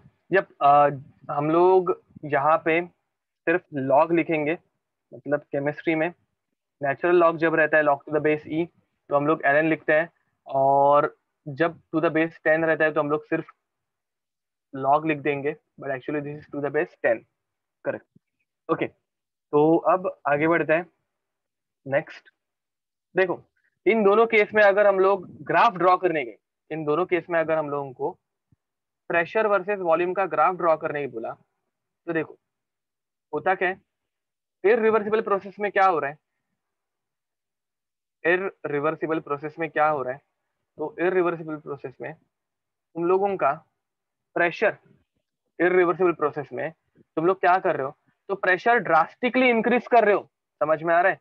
प्रेशर पहले बहुत कम था। प्रेशर वर्सेस वॉल्यूम का ग्राफ में बोल रहा हुआ प्रेशर वर्सेस वॉल्यूम का ग्राफ में बोल रहा हूँ। ठीक है? अब तुम लोग प्रेशर ड्रास्टिकली इंक्रीज कर रहे हो। क्या कर रहे हो? तो प्रेशर ड्रास्टिकली इंक्रीज कर रहे हो। तो पहले प्रेशर बहुत, एक काम करते हैं, उल्टा सोचते हैं। उल्टा ग्राफ बनाते हैं, वो जरा इजी रहेगा ठीक है? तो देखो, ये जो दो बोरिया थी, वो मैंने उठा दी। ये दो जो बोरिया थी, वो मैंने क्या कर दी? उठा दी। तो इन दोनों को अगर मैं उठा दूँगा लिफ्ट कर दूँगा ये दो जो सैंड बैग्स थे, उनको मैंने उठा दिया। तो एक्सपांशन होगा ऑब्वियस है, इनको उठा दूँगा तो प्रेशर निकल जाएगा तो सिस्टम क्या होगा? एक्सपांड होगा सिस्टम क्या होगा? तो एक्सपांड होगा। तो मुझे बताओ, मैंने प्रेशर धड़ाम करके बढ़ाया, एकदम से कम कर दिया तो ऑब्वियसली मैंने एकदम से उसको कम कर दिया। तो पीवी का ग्राफ अगर मैं प्लॉट करूँगा पीवी का ग्राफ अगर मैं प्लॉट करूँगा तो हाउ इट विल लुक मैंने प्रेशर जो पहले बहुत हाई था इनिशियली प्रेशर जो था वो बहुत हाई था। उस प्रेशर को मैंने एट वंस कम कर दिया। उस प्रेशर को मैंने क्या कर दिया? एट वंस मैंने कम कर दिया। ये फॉलो हो रहा है क्या? देखो। मैंने एट अ टाइम दोनों के दोनों सैंड उठा दी। तो प्रेशर पहले जो बहुत हाई था प्रेशर पहले जो बहुत हाई था, वो एकदम से कम हो गया। प्रेशर जो पहले हाई था, वो एकदम से क्या हो गया? कम हो गया। मुझे बताओ प्रेशर जो पहले बहुत हाई था, वो एकदम से कम हो गया। तो वॉल्यूम क्या होगा? तो वॉल्यूम क्या होगा? तो ऐसे टाइम पे वॉल्यूम एकदम से बढ़ जाएगा। वॉल्यूम एकदम से बढ़ जाएगा। फिर रिवर्सिबल प्रोसेस का ग्राफ तुम लोगों को समझ में आ रहा है क्या? This is the graph for irreversible process कि यहाँ पे वॉल्यूम जो है वो एकदम से बढ़ गया। वॉल्यूम जो है वो एकदम से बढ़ गया। ठीक है? फिजिक्स के थ्रू तुम लोगों को पता है वर्क डन के लिए वर्क डन के लिए हम लोग area under the curve use करते हैं। ये पता है तुम लोगों को फिजिक्स में तुम लोगों को ये इतना हुआ है आई गेस वर्क डन के लिए हम लोग area under the curve use करते हैं। तो यहाँ पे अगर एरिया अंडर द कर्व देखोगे तो ये बहुत छोटा एरिया है। देखो, ये फॉलो हुआ सबको। मैंने क्या किया? मैंने जो सैंडबैग्स थी वो डायरेक्ट उठा दी तो प्रेशर एकदम हाई से एकदम लो की तरफ़ ड्रॉप हो गया। एंड प्रेशर जब एकदम लो होगा तो वॉल्यूम एकदम हाई हो जाएगा। तो वॉल्यूम एकदम हाई की तरफ़ चला गया। And this is the and this is the work done तुम लोगों को पता होगा फिजिक्स में हम लोगों ने पढ़ा है कि एरिया अंडर द कर्व जो रहता है, ये ऊपर वाला एरिया तो कुछ था ही नहीं। ये एरिया अंडर द जो कर्व है that is the work done that is the work done ठीक है? This is for irreversible process this is for irreversible process अब हम लोग रिवर्सिबल प्रोसेस के लिए ड्रॉ करने वाले तो रिवर्सिबल प्रोसेस के लिए कैसे हो जाएगा? This is my Y axis this is my X axis and अब मैं क्या कर रहा हूँ? मैं एक्सपांशन करने वाला हूँ। तो एक्सपांशन में इरिवर्सिबल प्रोसेस में, पहले कंप्रेशन के लिए मैंने क्या किया था? एक एक सैंड का ग्रेन ऐड किया था। अभी मैं क्या करूँगा? एक एक सैंड का ग्रेन रिमूव करते जाऊँगा। एक एक सैंड का ग्रेन क्या करूँगा? रिमूव करते जाऊँगा। तो प्रेशर धीरे धीरे क्या होते जाएगा? प्रेशर धीरे धीरे कम होते जाएगा। प्रेशर क्या होगा? वो धीरे धीरे स्लोली स्लोली कम होते जाएगा। प्रेशर वर्सेस वॉल्यूम का ग्राफ क्या होगा? तो वो धीरे धीरे कम होते जाएगा। तो ये ऐसे स्लो स्लो स्लो कम होते जा रहे हैं। आई गेस तुम लोगों को समझ में आ रहा है। तो प्रेशर अगर धीरे धीरे कम हो रहा है तो वॉल्यूम भी गैस का धीरे धीरे बढ़ते बढ़ते जाएगा। प्रेशर हाँ। तो it will look like a rectangular hyperbola very nice ये हम लोगों ने पहले भी किया है। तो it will look like a rectangular hyperbola and अब यहाँ पे अगर मैं तुम लोगों को वर्कडन पूछू, अब यहाँ पे अगर मैं तुम लोगों को वर्कडन पूछू तो वर्कडन क्या आएगा? एरिया अंडर द कर्व याद रखो वर्क डन का फॉर्मूला बहुत सिंपल है area under the curve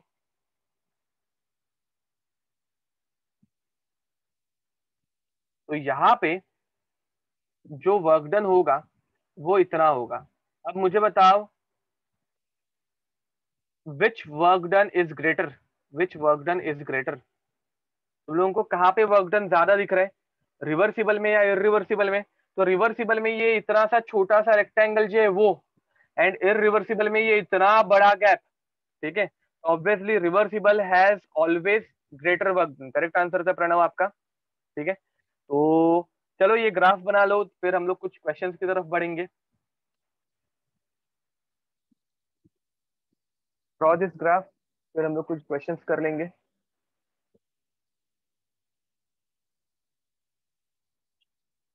Okay, even today our lecture is still 9 o'clock, right?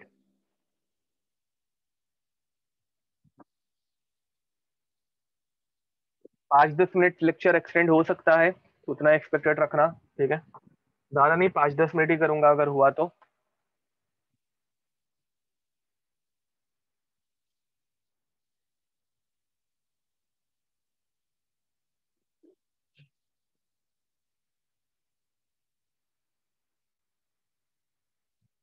मैं दो and two and half hour के लेक्चर नहीं ले रहा हूँ बिकॉज़ तुम लोगों का सी एस का लेक्चर बीच में आ रहा है। तो कोशिश चालू है कि सी एस का लेक्चर थोड़ा आगे शिफ्ट हो जाए टेन ओ को। देखते हैं।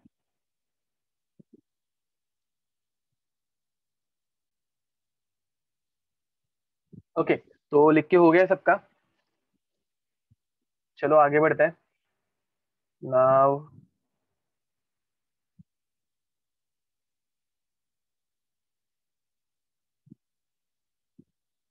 शिफ्ट हो गया क्या? नहीं। तो अब हम लोग कुछ क्वेश्चंस करेंगे, ठीक है? मैं तुम लोगों को पहले हाँ कुछ नोट्स लिख दे, लिख के दे देता हूँ। नोट्स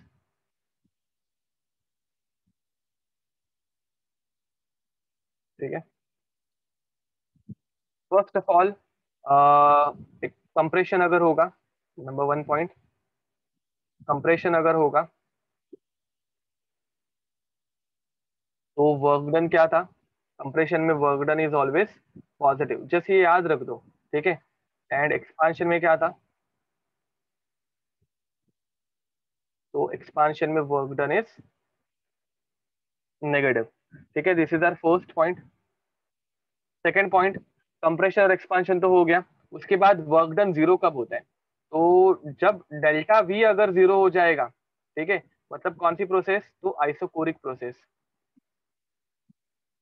तो आइसोकोरिक प्रोसेस के अंदर हम लोगों का वर्क डन का फॉर्मूला क्या है? Minus integration of P DV और अगर डीवी ही ज़ीरो हो गया तो वर्क डन भी क्या हो जाएगा? ज़ीरो हो जाएगा। ये फ़र्स्ट अब दूसरी, अगर प्रेशर ही ज़ीरो हो गया मतलब कौन सी कंडीशन वैक्यूम वाली। ठीक है? तो वैक्यूम वाली कंडीशन तो वैक्यूम वाली कंडीशन में अगर देखोगे तो प्रेशर ज़ीरो हो जाता है तो डब्ल्यू की वैल्यू भी क्या हो जाएगी? ज़ीरो हो जाएगी, ठीक है? आइसोकोरिक में एरिया अंडर द ग्राफ नहीं होगा। करेक्ट बोल रहे हो आइसोकोरिक में एरिया अंडर द ग्राफ नहीं होगा। अब एक और स्पेशल सिनेरियो रहता है जब वर्क डन ज़ीरो होता है। ठीक है? सम साइक्लिक प्रोसेसेस में। ठीक है? वर्क डन जो होगा, वो कुछ स्पेसिफिक साइक्लिक प्रोसेस रहती है, जिसमें ज़ीरो होता है। अब ये कौन सी स्पेसिफिक साइक्लिक प्रोसेस है वो हम लोगों को देखना है, जो हम लोग बाद में देखेंगे। एंड फिर फाइनली आता है unit unit of work done unit of work done देखो वर्क डन का फॉर्मूला क्या है? तो integration minus integration of P DV तो वर्क डन के यूनिट्स क्या हो सकते हैं? तो देखो वर्क डन का यूनिट प्रेशर हम लोग एक तो एटमॉस्फेयर में लिख सकते हैं। तो एटमॉस्फेयर इनटू लीटर या फिर लीटर एटमॉस्फेयर, ठीक है? एंड दूसरा क्या हो सकता है? तो प्रेशर का यूनिट और एक रहता है, बार। तो दूसरा हो सकता है बार लीटर। बट हम लोगों को पता है वर्क डन ये एक एनर्जी की यूनिट है। एनर्जी की यूनिट बोलना गलत हो जाएगा बट स्टिल तो जिसमें एनर्जी हम लोग कंज्यूम करते हैं तो हम लोग उसके लिए क्या यूज़ करेंगे? तो जूल्स करेक्ट बोल रहे हो? तो वर्क डन हम लोगों को जूल्स में कन्वर्ट करना है। तो हम लोगों को यूनिट कन्वर्जन याद रखने पड़ेंगे। One litre atmosphere one litre atmosphere is 101.3 joules. And one bar liter is nothing but 100 joules. ठीक है? ये दो यूनिट कन्वर्जन तुम लोगों के लिए बहुत इंपॉर्टेंट है, जो तुम लोगों को याद रखनी ही है। ठीक है? तो ये दो यूनिट कन्वर्जन स्क्वायर ब्रैकेट में बंद करके रख देना। ये तुम लोगों को याद रखनी ही है। ओके तो ये कुछ पॉइंट है जो याद रखो।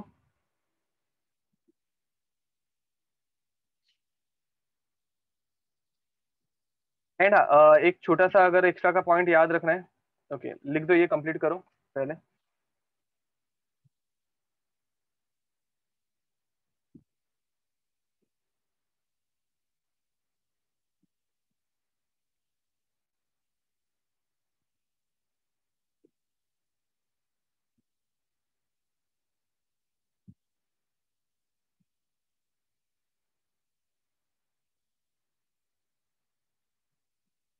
जस्ट मैं इस वीक में कॉल करने वाला था but I started with Vile Parle branch और विले पार्ले ब्रांच के बच्चों के साथ बात करते करते पूरा वीक ही निकल गया।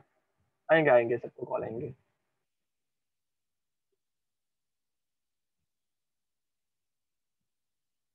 मुझे लगा था मैं ज़्यादा मतलब एक दिन में बहुत सारे स्टूडेंट कवर कर पाऊँगा बट नहीं बहुत टाइम लगता है। ओके okay, तो चलो आगे बढ़ते हैं। Next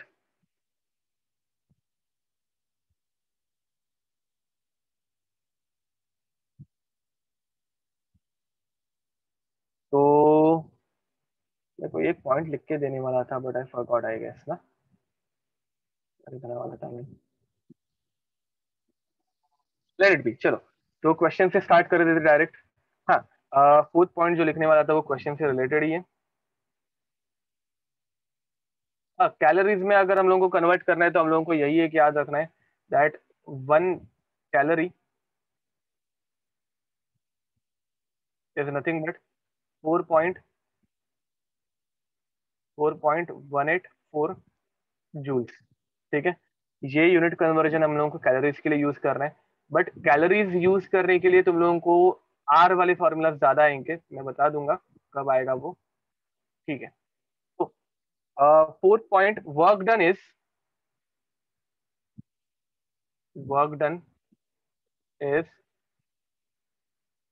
area under PV curve pressure volume curve के नीचे जो एरिया रहता है वही वर्क डन रहता है नथिंग एल्स ठीक है? तो चलो कुछ क्वेश्चन से स्टार्ट करते हैं। Calculate work done in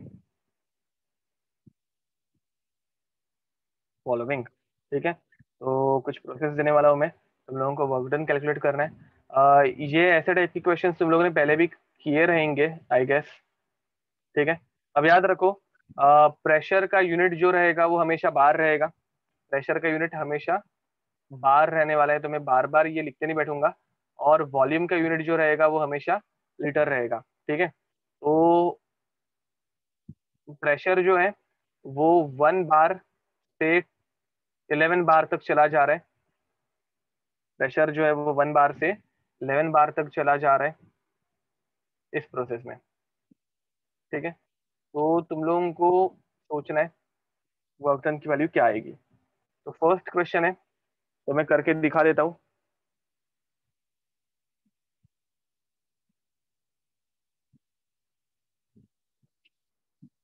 तो अब W is equals to zero आएगा करेक्ट आंसर है सबका। I am flattered Pranav and तो हम करेक्ट आंसर है। अथर्व करेक्ट है, आदित्य करेक्ट है। तो W is equals to minus P external sorry W is equals to minus P DV integration of P DV हम लोगों का फॉर्मूला है, हम लोगों को पता है। एंड वॉल्यूम यहाँ पे अगर देखोगे डीवी तो वॉल्यूम चेंज ही नहीं हो रहा है। वॉल्यूम अगर चेंज नहीं हो रहा है तो डब्ल्यू का आंसर क्या हो जाएगा? ज़ीरो हो जाएगा। तो ये आइसोकोरिक प्रोसेस हो गई।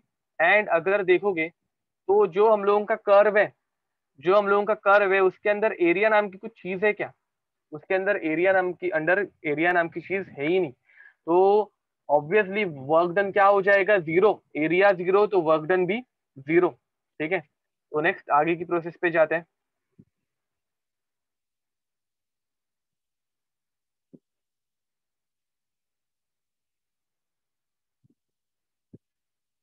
तो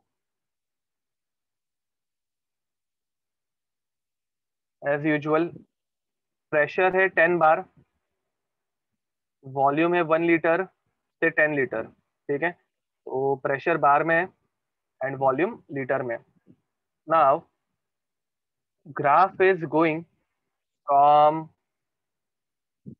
one to ten graph is going from one to ten in this direction direction important है। इन दिस डायरेक्शन ठीक है? तो मतलब क्या? तो वन लीटर ये V1 था टू टेन लीटर ये V2 हो गया। वन लीटर इज़ V1 वास्तव करेक्ट है बट साइन आप बता सकते हो? तो देखो, हम लोगों का फॉर्मूला क्या है? प्रेशर कांस्टेंट है तो minus P V two minus V one ठीक है? प्रेशर कितना है? तो प्रेशर टेन है। तो प्रेशर इज़ माइनस टेन ठीक है? Pressure is minus ten into V two कितना दिया है हम लोगों को? वी टू दिया है टेन माइनस वी वन कितना दिया था? वी वन इनिशियल वॉल्यूम दिया था वन तो आंसर कितना आ जाएगा?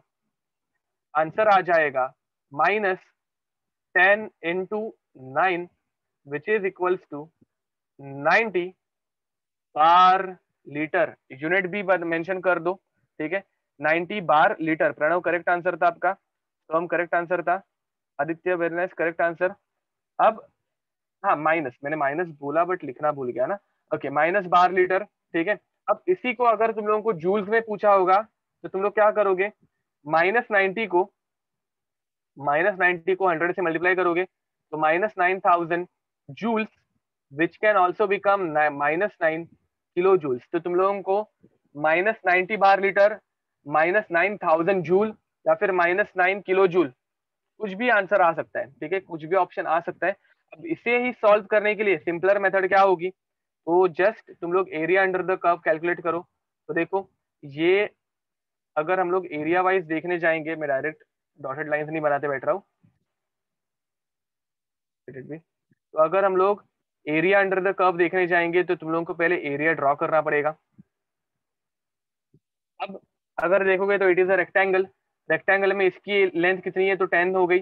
और इसकी लेंथ कितनी हो गई? तो ये नाइन हो गई, ठीक है? इसकी लेंथ कितनी हो गई? नाइन इसकी लेंथ कितनी हो गई? Ten area of the rectangle is length into height तो लेंथ इंटू हाइट अगर हम लोग करेंगे तो टेन इंटू नाइन होगा। टेन इंटू नाइन कितना हो जाएगा? तो नाइनटी एंड नाइनटी में आंसर आ गया, खत्म, ठीक है? तो और एक क्वेश्चन लेके देखते हैं। अब तुम लोगों को क्या फॉर्मूला यूज़ करना है? तो तुम लोगों को एरिया अंडर द कर्व ही यूज़ करना है। याद रखो, हम लोग क्या यूज़ करेंगे? Area under the curve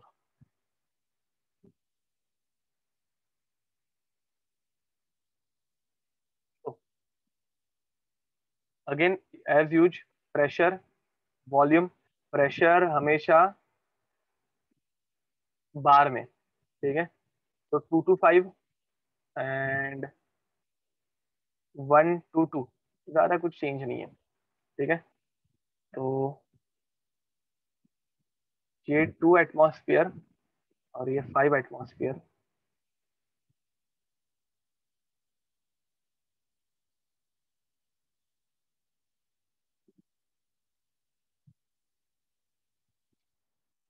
wait minute something is wrong हो गया मैंने क्वेश्चन जो दिया है, उसमें एक मिस्टेक है। रेक्टिफाई कर लेते हैं। प्रेशर फाइव से टू जा रहा है। अगर वॉल्यूम नहीं क्वेश्चन इज़ करेक्ट ओके तो प्रेशर अगर मैं बढ़ा रहा हूँ तो ये ऐसे जाएगा। Okay okay. तो एरो नीचे के डायरेक्शन में तो इट इज़ एक्सपांशन और कॉन्ट्रैक्शन तो डेफिनेटली ये कॉन्ट्रैक्ट हो रहा है। ठीक है? Definitely it is what it is contracting ठीक है? तो अभी आंसर निकालो।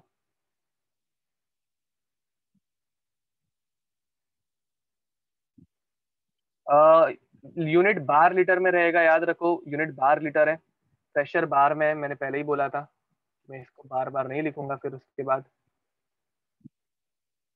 तो अब तुम लोगों को एरिया अंडर द कर्व निकालना है। देखो आंसर निकालो। ओके आदित्य करेक्ट आंसर है. Very nice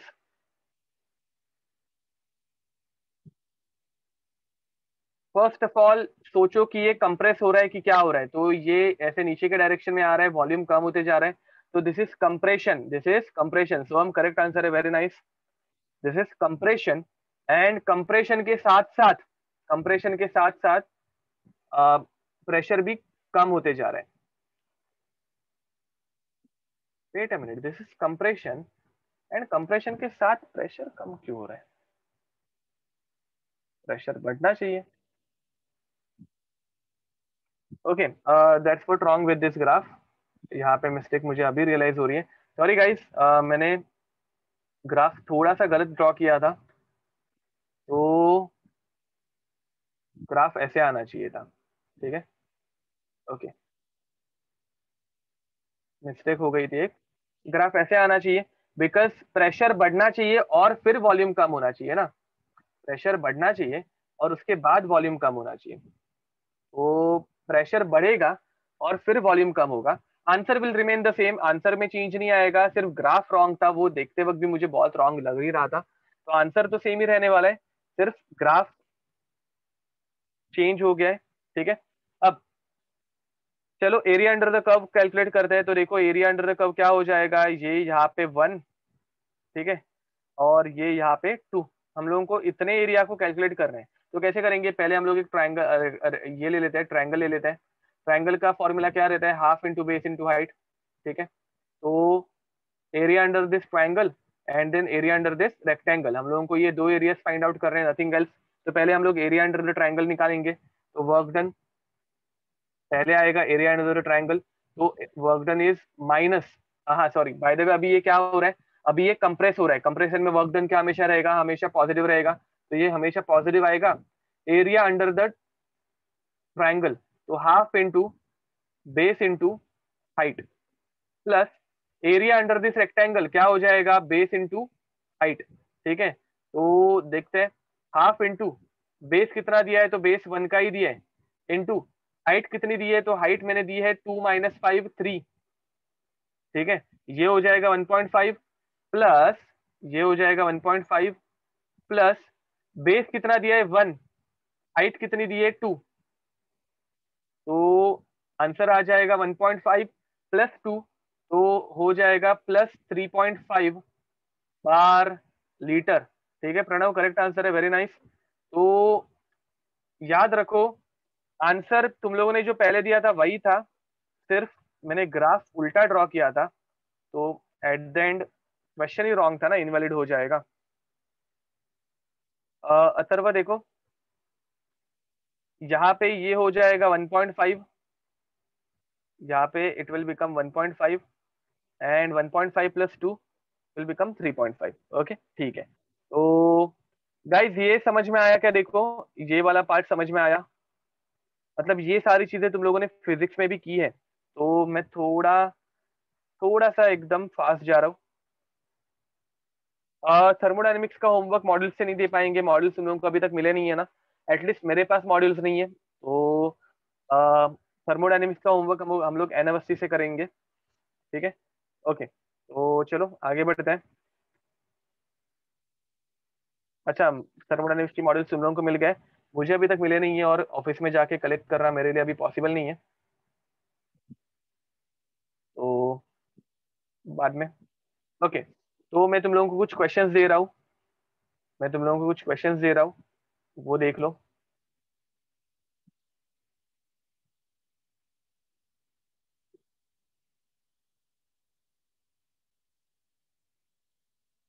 again PV graph है। तुम लोगों को वर्क डन कैलकुलेट करना है नथिंग एल्स चलो करना स्टार्ट करो.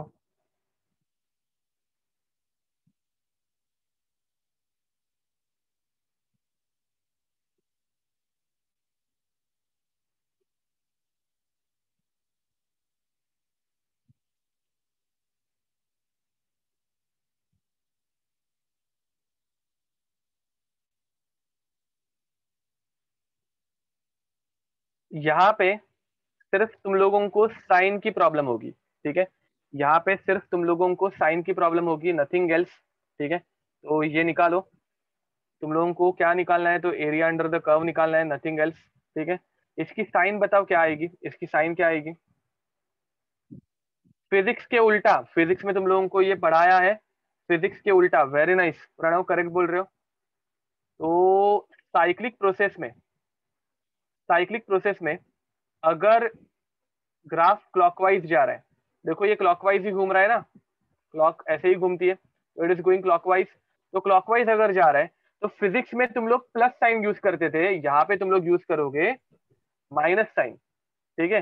एंड अगर ग्राफ एंटी क्लॉकवाइज जा रहा है, अगर ग्राफ एंटी क्लॉकवाइज जा रहा है तो फिजिक्स में तुम लोग माइनस साइन यूज़ करते हो, यहाँ पे तुम लोग यूज़ करोगे प्लस साइन करेक्ट बोल रहे हो, आदित्य।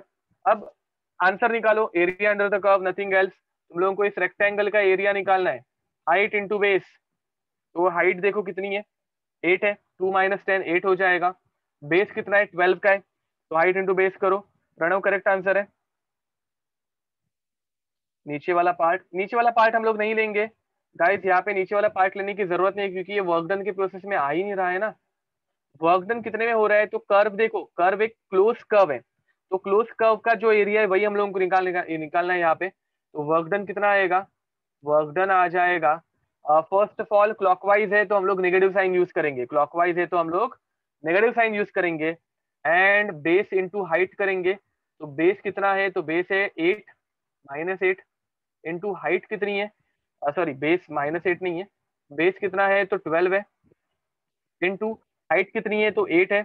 तो ट्वेल्व इंटू एट हो जाएगा minus ninety eight bar litre इसको अगर तुम लोगों को जूल्स में कन्वर्ट करने बोला तो minus nine thousand eight hundred अरे सॉरी नाइनटी एट नहीं नाइनटी सिक्स ना हाँ. Minus ninety six bar litre sure and ये हो जाएगा minus ninety six hundred joules which is nothing but minus ninety six kilo joules guys तुम लोगों से रिस्पॉन्स थोड़ा कम आ रहा है उत्तरा करेक्ट आंसर है। uh, सबको ग्रास हो रहा है ना प्रथमेश करेक्ट आंसर था। सबको ग्रास हो रहा है ना क्या हो रहा है? या किसी को डाउट है?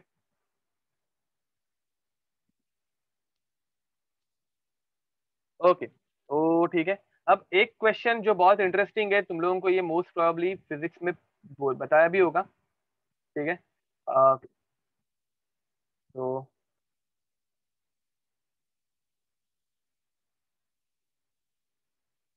इसका आंसर देखो क्या आएगा।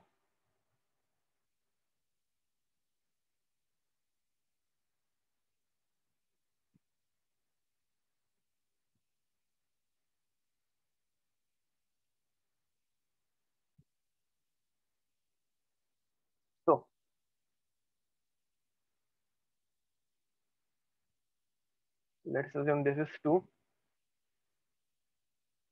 this is 4 this is 2 5 8 and ये ऐसे जा रहे हैं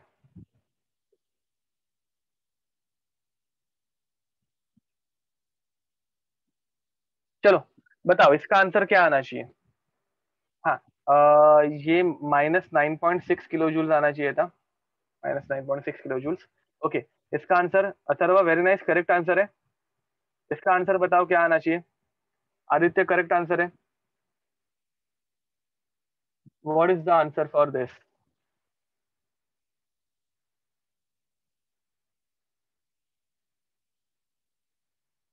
तो तुम लोगों को ट्रायंगल के एरियाज़ निकालने की ज़रूरत है क्या? पहले यहाँ पे देखो, सोचो जरा। देखो, ये एकदम सिंपल है।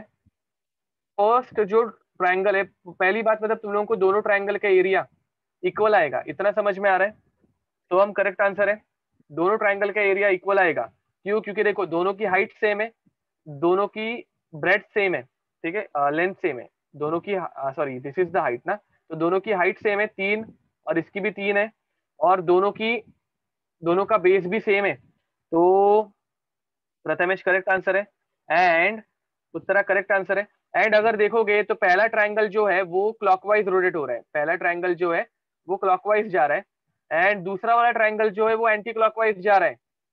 मतलब यहाँ पे क्लॉकवाइज है मतलब ये नेगेटिव वर्क डन करेगा और ये पॉजिटिव वर्क डन करेगा। दोनों का एरिया सेम है तो दोनों का वर्क डन सेम होगा। पॉजिटिव वर्क डन जितना उतना ही नेगेटिव वर्क डन तो मुझे बताओ what is the final work done what is the final work done मैंने क्या बोला? समझ में आ रहा है सबको? अनिश करेक्ट बोल रहे हो? पूर्वा करेक्ट ओके तो फाइनल वर्क डन यहाँ पे आएगा zero no work done Pranav correct बोल रहे हो? ये ग्रास हुआ। देखो, ये तुम लोगों को इसका आंसर निकालने की बिल्कुल ज़रूरत नहीं अगर किसी को फिर भी निकालना है तो तुम लोग ट्राइंगल का एरिया निकालो। तुम लोगों को बेस इंटू हाइट से जो आंसर आएगा, कितना आएगा? टू इंटू यहाँ पे आ जाएगा वन पॉइंट फाइव तो थ्री आएगा। तो यहाँ पे तुम लोगों को थ्री ठीक है? कौन सा वाला? तो माइनस थ्री और यहाँ पे तुम लोगों को कौन सा वाला? थ्री तो तुम लोगों को प्लस थ्री तो यहाँ पे तुम लोगों को माइनस थ्री आएगा आंसर यहाँ पे आएगा प्लस थ्री दोनों के एडिशन करोगे आंसर हो जाएगा ज़ीरो ठीक है? चाहिए तो कैलकुलेट करके देख लेना। ओके तो चलो और कुछ एग्जांपल्स में तुम लोगों को अभी सॉल्व करने के लिए दे रहा हूँ। अभी तुम लोग सॉल्व करोगे। नेक्स्ट एग्ज़ाम्पल लोग सॉल्व करने वाले हो।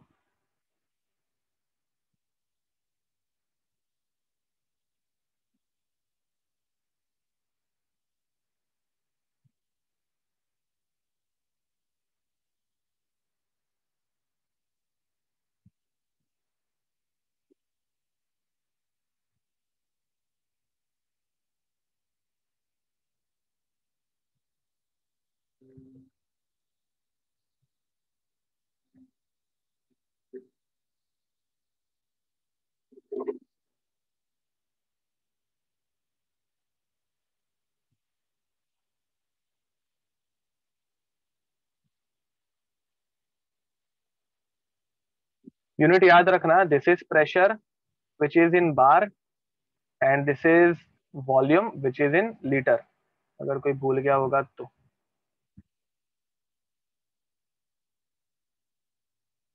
ओके तो फ़र्स्ट ये क्वेश्चन है एंड सेकंड क्वेश्चन देखते हैं मेरे पास कोई अच्छा क्वेश्चन है क्या?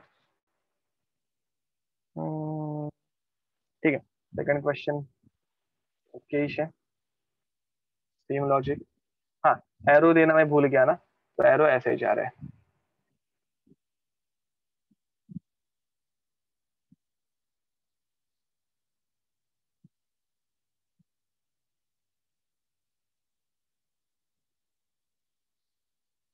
अब वो क्या है, वो तुम लोगों को फिगर आउट करना है इट इज़ सेमी सर्कल और व्हाट लोग देखो। याद रखो, तुम लोगों को एग्ज़ाम में जो डायग्राम दी जाएगी, वो तुम लोगों को सेमी सर्कल या फिर सर्कल ही दी जाएगी, ठीक है? एग्जामिनर इतना अच्छा नहीं है कि वो तुम लोगों को हिंट्स देगा, वो तुम लोगों को जितना हो सके उतना कंफ्यूज करने की कोशिश करेगा।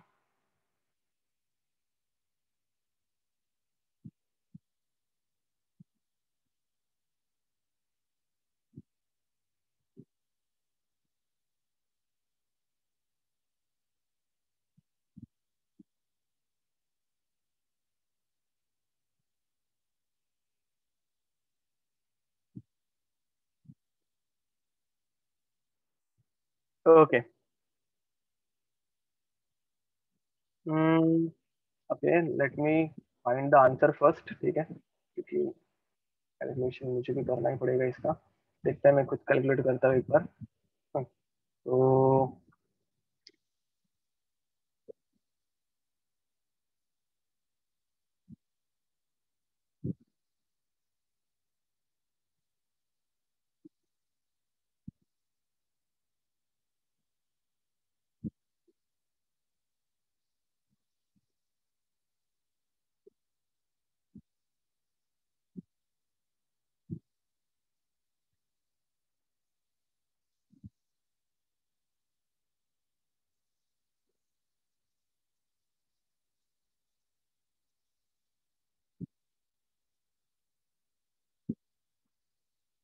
ओके देखते हैं सबके आंसर्स हाँ हाँ. नहीं, अभी तक तो किसी के आंसर मैच होते हुए मुझे दिख रहा नहीं है. क्या नो ओके तो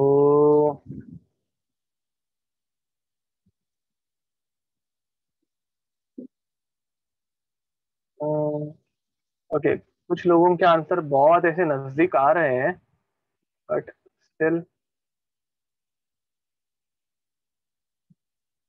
नहीं नहीं। ओके तो चलो मैं सॉल्व करना स्टार्ट करता हूँ।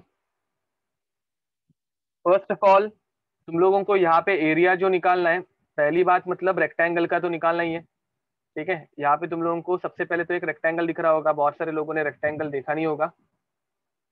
देखा हो भी सकता है, ठीक है? ये रेक्टेंगल का एरिया तुम लोगों को पहले निकालना है, ठीक है? एंड उसके बाद एट द सेम टाइम तुम लोगों को इस सेमी सर्कल का भी एरिया निकालना है। रेक्टेंगल प्लस सेमी सर्कल दोनों का एरिया तुम लोगों को निकालना है। अब ये सेमी सर्कल है क्या, वो हम लोगों को फिगर आउट करना है पहले। Let's see if it is a semicircle और नॉट अब, अगर तुम लोग इस सेमी सर्कल की हाइट देखोगे तो हाइट इस सेमी सर्कल की आएगी तुम लोगों को टू बार हाइट आएगी दो बार एंड वॉल्यूम अगर देखोगे तो देखो ये टोटल एरिया कितना है? तो ये टोटल है चार। तो चार है तो ये हो जाएगा फोर लीटर तो मुझे बताओ, एक दो है मतलब एक यूनिट दो का है और एक यूनिट चार का है। तो is it a semi circle तो definitely it is not a semicircle definitely it is not a semicircle this is a semi ellipse this is a semi ellipse ये एक हाफ़ एलिप्स है एलिप्स है। तो तुम लोगों को वर्क डन के लिए एरिया अंडर द एलिप्स निकालना पड़ेगा पहले। तो वर्क डन के लिए एरिया अंडर द एलिप्स तो एरिया अंडर द एलिप्स और ये प्रोसेस देखो क्या हो रही है तो this process is expansion process this process is expansion process ये एक्सपांड हो रहा है, ठीक है? टू टू टेन जा रहा है तो ये आंसर माइनस में आएगा। एलिप्स के लिए तुम लोग यूज़ करोगे minus sorry pi into A into B और इसे हाफ़ कर दोगे। हाफ़ करने का रीजन बिकॉज़ ये सेमी एलिप्स है प्लस रेक्टेंगल का एरिया तो तुम लोग यूज़ करोगे length into breadth length into breadth या फिर लेंथ इंटू हाइट अभी यहाँ पे लेंथ इंटू हाइट आना चाहिए था but let it be fine अब माइनस पाई मतलब 3.14 point one four into A कितना है तो टू है बी कितना है तो फोर है। इसे हम लोग टू से डिवाइड कर देंगे तो टू टू कैंसिल आउट हो जाएगा। प्लस लेंथ कितनी है तो टू दी है मैंने एंड ब्रेड कितनी दी है तो एट दी है। तो ये हो जाएगा सिक्सटीन ठीक है? तो आंसर आएगा माइनस फोर से इसको अगर हम लोग मल्टीप्लाई करेंगे तो सिक्सटीन वन कैरी फॉरवर्ड हो गया तो ये हो गया फाइव और ये हो गया twelve plus two into eight sixteen हो जाएगा। तो इन दोनों के एडिशन अगर करोगे तो सिक्सटीन प्लस ट्वेल्व हो जाएगा ट्वेंटी एट तो twenty eight point five six bar litre is the work done ये कुछ समझा ठीक है? आई ए बी और उसको दो से डिवाइड करना है बहुत सारे लोग भूल गए थे। आई ए बी को दो से डिवाइड नहीं किया था या फिर सिक्सटीन को भूल गए थे। ओके अब आगे बढ़ते हैं। यहाँ पे इसे क्लॉकवाइज ऐसे समझ लेते हैं। क्लॉकवाइज क्लॉकवाइज मतलब ये वापस नेगेटिव हो जाएगा ना। एंटी क्लॉकवाइज ले लेते हैं तो ये पॉजिटिव हो जाएगा वर्क डन ठीक है? तो अब डब्ल्यू याद रखो एरोज हम लोगों को साइन बताने के लिए काम आता है तो वो नहीं रहेंगे तो हम लोग क्वेश्चन सॉल्व ही नहीं कर पाएँगे। तो माइनस अब ये तुम लोगों को सर्कुलर दिख रहा है। हमेशा तुम लोगों को ये सर्कल ही दिखेगा बट सर्कल की अगर तुम लोग रेडियस देखोगे तो हाइट वाइज अगर रेडियस देखेंगे हम लोग हाइट वाइज अगर रेडियस देखेंगे तो कितनी आएगी? Two minus twelve ten ten का हाफ़ हो जाएगा फाइव तो ये है फाइव आर एंड अगर तुम लोग लेंथ वाइज रेडियस देखोगे तो टू माइनस टेन एट तो ये हो जाएगा फोर बार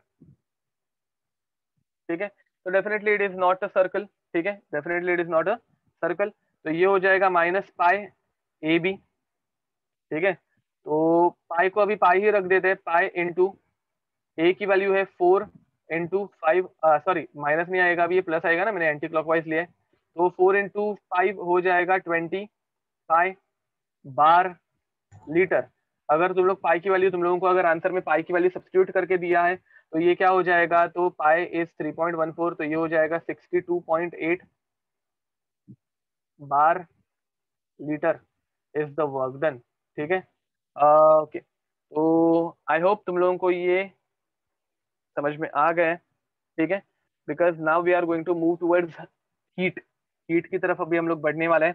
तो इधर तक किसी को डाउट होगा तो प्लीज़ पूछ लो।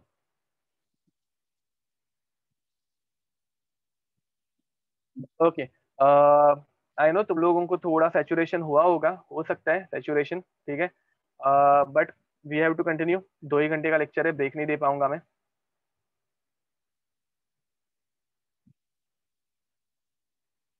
तो let's move ahead towards heat work done हो गया अभी हम लोग हीट की तरफ़ बढ़ने वाले हैं। Heat obviously represented by Q ठीक है?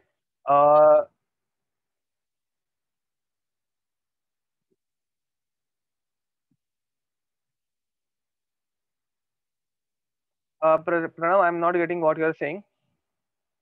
Okay, so heat is nothing but thermal energy ठीक है जो हम लोग फील कर पाते हैं। तो हेलो सर हाँ बोलो। सर तुम्ही वरती डिवायडेड बाय टू केलं आणि दुसऱ्या शंभर डिवायडेड टू का नाही केलं मग? अरे बिकॉज़ जो ये एलिप्स है वो देखो ना ये आधा है एलिप्स क्या है? आधा है एलिप्स का फॉर्मूला क्या रहता है? Area of ellipse is pi A B ellipse का फॉर्मूला रहता है पाई ए बी बट ये हाफ़ एलिप्स है तो अगर हाफ़ एलिप्स होगा तो हम लोगों को इसको डिवाइड बाई टू करना पड़ेगा। बट ये पूरा रेक्टेंगल है कंप्लीट रेक्टेंगल अगर कंप्लीट रेक्टेंगल है तो रेक्टेंगल का फॉर्मूला क्या रहता है? L into length into breadth तो उसको डिवाइड करने की ज़रूरत ही नहीं है। गेटिंग इट जैसे यहाँ पे मैंने पूरा पाई ए भी लिया, इसको डिवाइड करने की ज़रूरत नहीं पड़ी बिकॉज़ ये हाफ़ नहीं था। ये कंप्लीट था। पूरा सर्कल दिख रहा है या फिर पूरा एलिप्स या फिर ओवल शेप दिख रहा है। ठीक है? अच्छा ओके आ, मैंने देखा नहीं था एक्चुअली तो और किसी को कुछ डाउट है? ओके तो चलो हीट हीट इज़ क्यू ठीक है? थर्मल एनर्जी एंड देखो अगर तुम लोगों के पास एक सिस्टम है तुम लोगों के पास एक सिस्टम है। कोई भी एक सिस्टम है। क्लोज सिस्टम है ऐसे समझ लेते हैं। क्लोज्ड और रिजिड सिस्टम है। एंड इधर अंदर की तरफ़ एक गैस है। ठीक है? अब इस गैस को तुम लोगों ने हीट करना स्टार्ट किया। तो मुझे बताओ, इस गैस की हीट बढ़ेगी या कम होगी? तो डेफिनेटली इस गैस की हीट बढ़ेगी। ठीक है? तो इस गैस को तुम लोग हीट प्रोवाइड कर रहे हो। इस गैस को तुम लोग हीट प्रोवाइड कर रहे हो। तो इसके अंदर हीट चली गई। तो ऐसे कंडीशन में हम लोग क्या बोलेंगे? Q is positive over here Q is positive और उसी बदले सेकेंड कंडीशन तुम लोगों के पास एक कंटेनर है गैस का।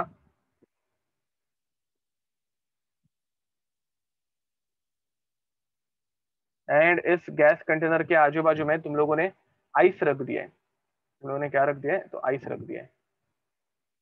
ठीक है? इस कंटेनर के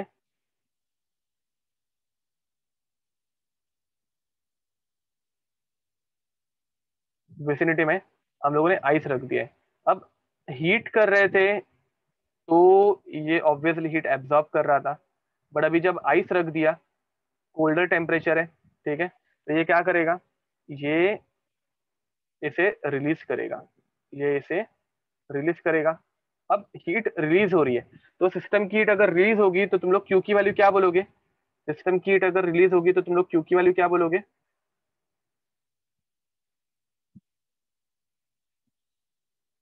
नेगेटिव सिस्टम की हीट अगर एब्जॉर्ब हो रही है तो क्यू की वैल्यू क्या बोलोगे? पॉजिटिव एनी डाउट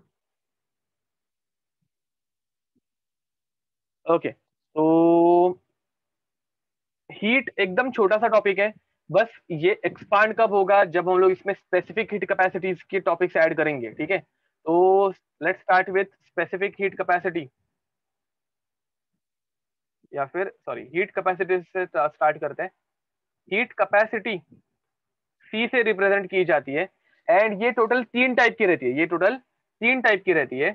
एक रहती है total heat capacity number one is total heat capacity number one is total heat capacity जिसे हम लोग दिखाएँगे सीटी से, जिसे हम लोग दिखाएँगे सीटी से तो पूरे सब्सटेंस की टेम्परेचर को पूरे सब्सटेंस के टेम्परेचर को चेंज करने के लिए जो हीट लगती है उसे हम लोग बोलेंगे टोटल हीट कैपेसिटी बाद में हम लोग बोलेंगे second is molar heat capacity molar heat capacity and molar heat capacity is represented as C N अब टोटल हीट कैपेसिटी मतलब क्या? तो पूरे सिस्टम की हीट बढ़ानी है या फिर पूरे सिस्टम का टेम्परेचर बढ़ाना है तो जितनी हीट लगती है वो।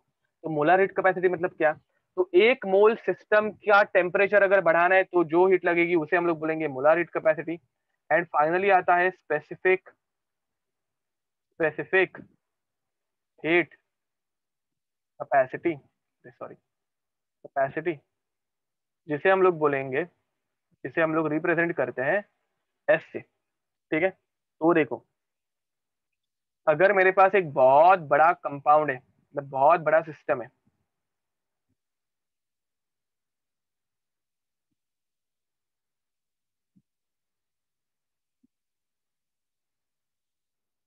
करेक्ट बोल रहे हो, अथर्व। अगर मेरे पास एक बहुत बड़ा सिस्टम है, ठीक है? पूरे सिस्टम में ये इतना पार्ट वन मोल है। पूरे सिस्टम में ये इतना पार्ट जो है वो वन मोल है, ऐसे अज्यूम करते हैं, ठीक है? एंड इस पूरे सिस्टम में ये इतना सा पार्ट जो है वो वन ग्राम है।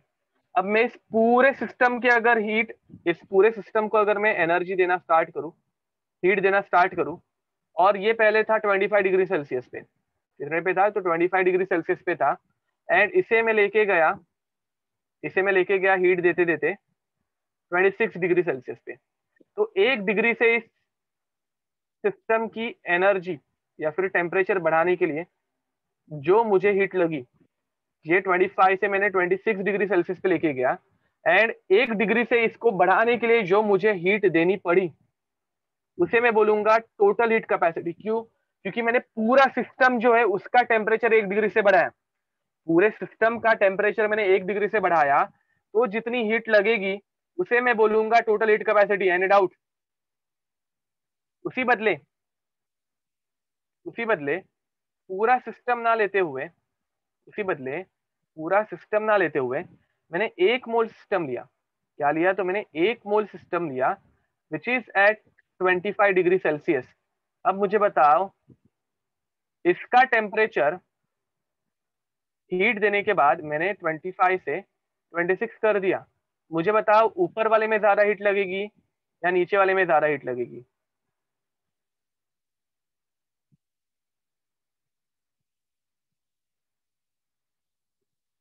ऊपर वाले में ज़्यादा हीट लगनी चाहिए टोटल हीट ज़्यादा रहनी चाहिए ऑब्वियसली ऊपर वाले में लगनी चाहिए। ज़्यादा हीट कहाँ पे लगेगी? तो ऊपर वाले में लगेगी, क्योंकि वहाँ पे अमाउंट ज़्यादा थी तो उसका टेम्परेचर बढ़ाने के लिए हीट भी ज़्यादा लगेगी। बट यहाँ पे अमाउंट क्या है? कम हो गई। और इसमें जो हीट रिक्वायर्ड होगी, उसे मैं बोलूँगा मोलार हीट कैपेसिटी बिकॉज़ एक डिग्री से एक मोल का टेम्परेचर बढ़ाने के लिए जितना टेम्परे जितनी हीट लगती है, उसे हम लोग बोलेंगे molar heat capacity and finally आता है स्पेसिफिक हीट कैपेसिटी मैंने तुम लोगों को बताया था लैटेंट और स्पेसिफिक ये वर्ड हम लोग हमेशा वन ग्राम के लिए यूज़ करते हैं. तो now I have one gram of a substance जिसका टेम्परेचर था 25 डिग्री सेल्सियस 25 डिग्री सेल्सियस और इसके टेम्परेचर को मैंने हीट किया, इस कंपाउंड को मैंने हीट किया या फिर इस मेटल को मैंने हीट किया, और इसका टेम्परेचर बढ़ा के मैं लेके गया वन डिग्री से सॉरी ट्वेंटी डिग्री से ट्वेंटी सिक्स डिग्री सेल्सियस तक। अब मुझे बताओ, इसे हम लोग क्या बोलेंगे? तो इसे हम लोग बोलेंगे स्पेसिफिक हीट कैपेसिटी ये पॉइंट समझ में आ गए क्या देखो? अब मुझे बताओ, सबसे ज़्यादा एनर्जी कहाँ पे लगेगी? तो ऑब्वियसली सबसे ज़्यादा एनर्जी हम लोगों को लगेगी सिटी में। अब अज्यूम करो कि सिटी के अंदर, अब अज्यूम करो कि सिटी के अंदर टोटल छह मोल्स थे। कितने मोल्स थे? तो टोटल छह मोल्स थे। सिटी के अंदर टोटल के अंदर टोटल छह मोल्स थे। कितने मोल्स थे? तो छह मोल्स थे। तो अब मुझे बताओ सिटी में से मुझे सी एन निकालना है। सिटी में से अगर मुझे सी एन निकालना है, छह मोल्स के लिए सिटी रिक्वायर्ड है तो एक मोल के लिए कितना रिक्वायर्ड होगा? छह मोल्स के लिए अगर टोटल हीट कैपेसिटी सिटी है तो एक मोल के लिए कितना होगा? वेरी नाइस पर्णवी करेक्ट बोल रहे हो। आदित्य करेक्ट बोल रहे हो। तो हम लोग इसको छह से डिवाइड कर देंगे। हम लोग इसे छह से डिवाइड कर देंगे। तो हम लोग ऐसे ही इनमें से कोरिलेशन निकालने वाले अभी, ठीक है? तो मैं पहले इनकी डेफिनेशन लिख के दे दूँ। पहले हम लोग डेफिनेशन करेंगे, फिर हम लोग कोरिलेशन निकालेंगे। तो सबसे पहले डेफिनेशन है टोटल हीट कैपेसिटी की।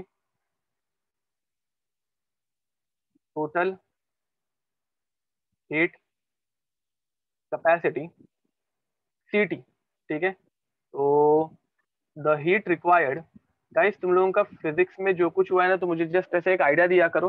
सो so दैट मैं फास्ट जाना है या स्लो जाना है मैं उसके ऊपर से डिपेंड डिसाइड करूँगा the heat required to raise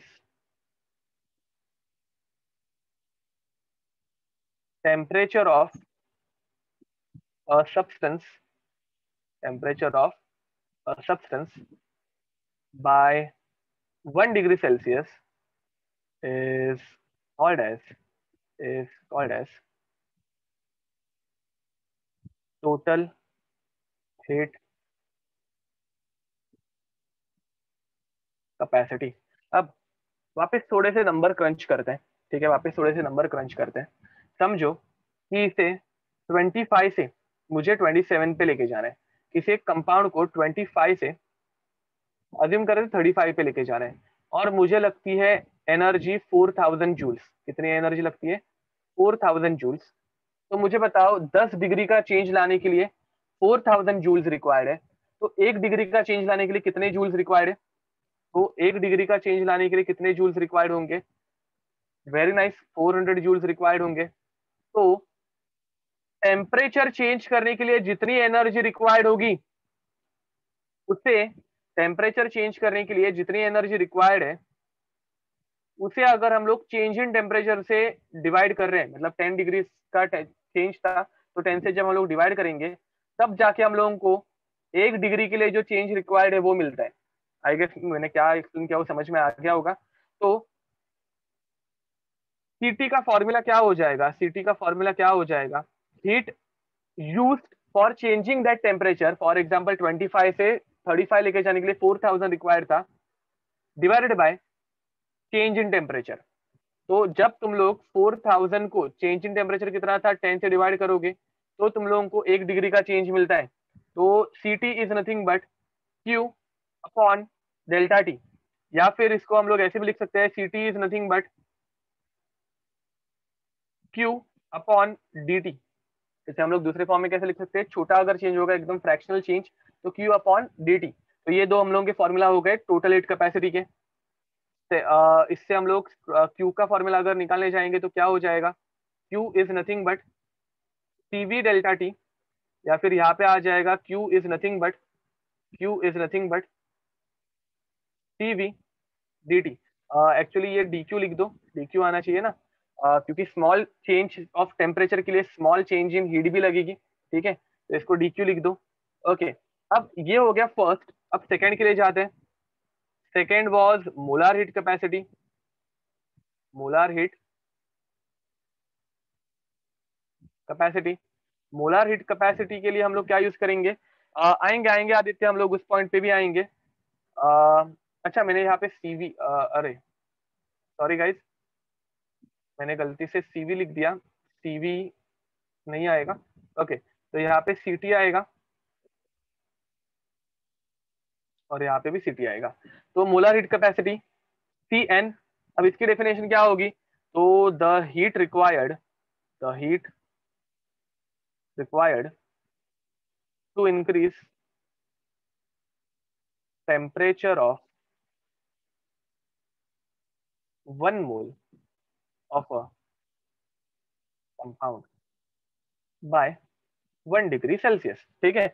nothing else अब तुम लोगों को वन मोल के लिए निकालना है। देखो, तुम लोगों ने मुझे बताया था कि अगर ये छह मोल्स है टोटल तो तुम लोगों को टोटल को सिक्स से डिवाइड करना पड़ेगा, याद है? अगर ये टोटल छह मोल्स है तो तुम लोगों को टोटल को सिक्स से डिवाइड करना पड़ेगा।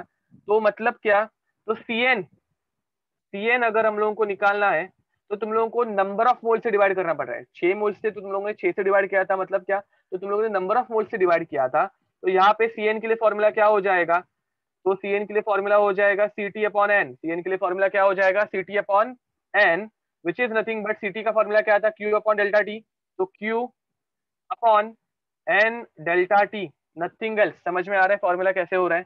अब दूसरा फॉर्मूला क्या हो जाएगा? C N is nothing but D Q upon N D T ठीक है? तो फाइनली क्यू के लिए फॉर्मूला क्या हो जाएगा? Q is nothing but N C N delta T, N C N delta T, and D Q के लिए फॉर्मूला क्या हो जाएगा?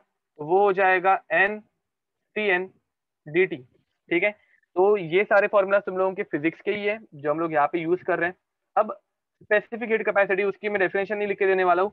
It is to increase temperature by one degree Celsius for one mole one gram of compound तो specific heat capacity capital S से इसको हम लोग रिप्रेजेंट करते हैं, ठीक है?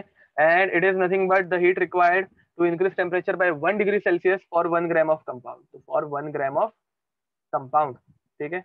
या फिर for one gram of substance ठीक है? तो अब यहाँ पे अज्यूम करो कि एक मोल में, एक मोल में 25 ग्राम से। तो तुम लोगों को एक ग्राम निकालने के लिए क्या करना पड़ेगा? या फिर एक मोल में मत लो। यहाँ पे टोटल 25 ग्राम से। कितने ग्राम से? 25 ग्राम से। तो 25 ग्राम से एक ग्राम में कन्वर्ट करने के लिए तुम लोग सीटी को क्या करोगे? तुम लोग सी को 25 से डिवाइड कर दोगे। नथिंग एल्स समझ में आ रहा होगा? तो सी को सी को हम लोगों को क्या करना है? मास से, उसके मास से डिवाइड करना है तो हम लोगों को एस मिलेगा। स्पेसिफिक हीट कैपेसिटी मिलेगी। ठीक है? तो S specific heat capacity is nothing but total heat capacity divided by total mass तो टोटल हीट कैपेसिटी का फॉर्मूला था Q अपॉन डेल्टा टी जिसे हम लोग m से मल्टीप्लाई करेंगे।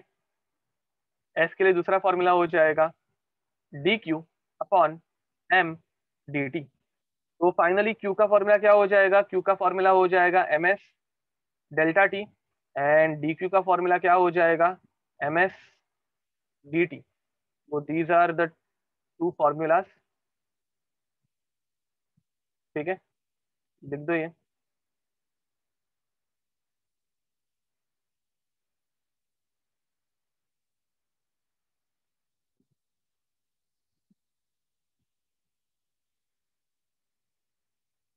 ओके okay, अब हम लोग हमेशा कौन सा फॉर्मूला यूज़ करेंगे तो हम लोग हमेशा मोलार हीट कैपेसिटी केमिस्ट्री में हम लोग most of the time 90 percent of the time एक मोल के लिए बात करते हैं। तो हम लोग हमेशा मोलार हीट कैपेसिटी यूज़ करेंगे।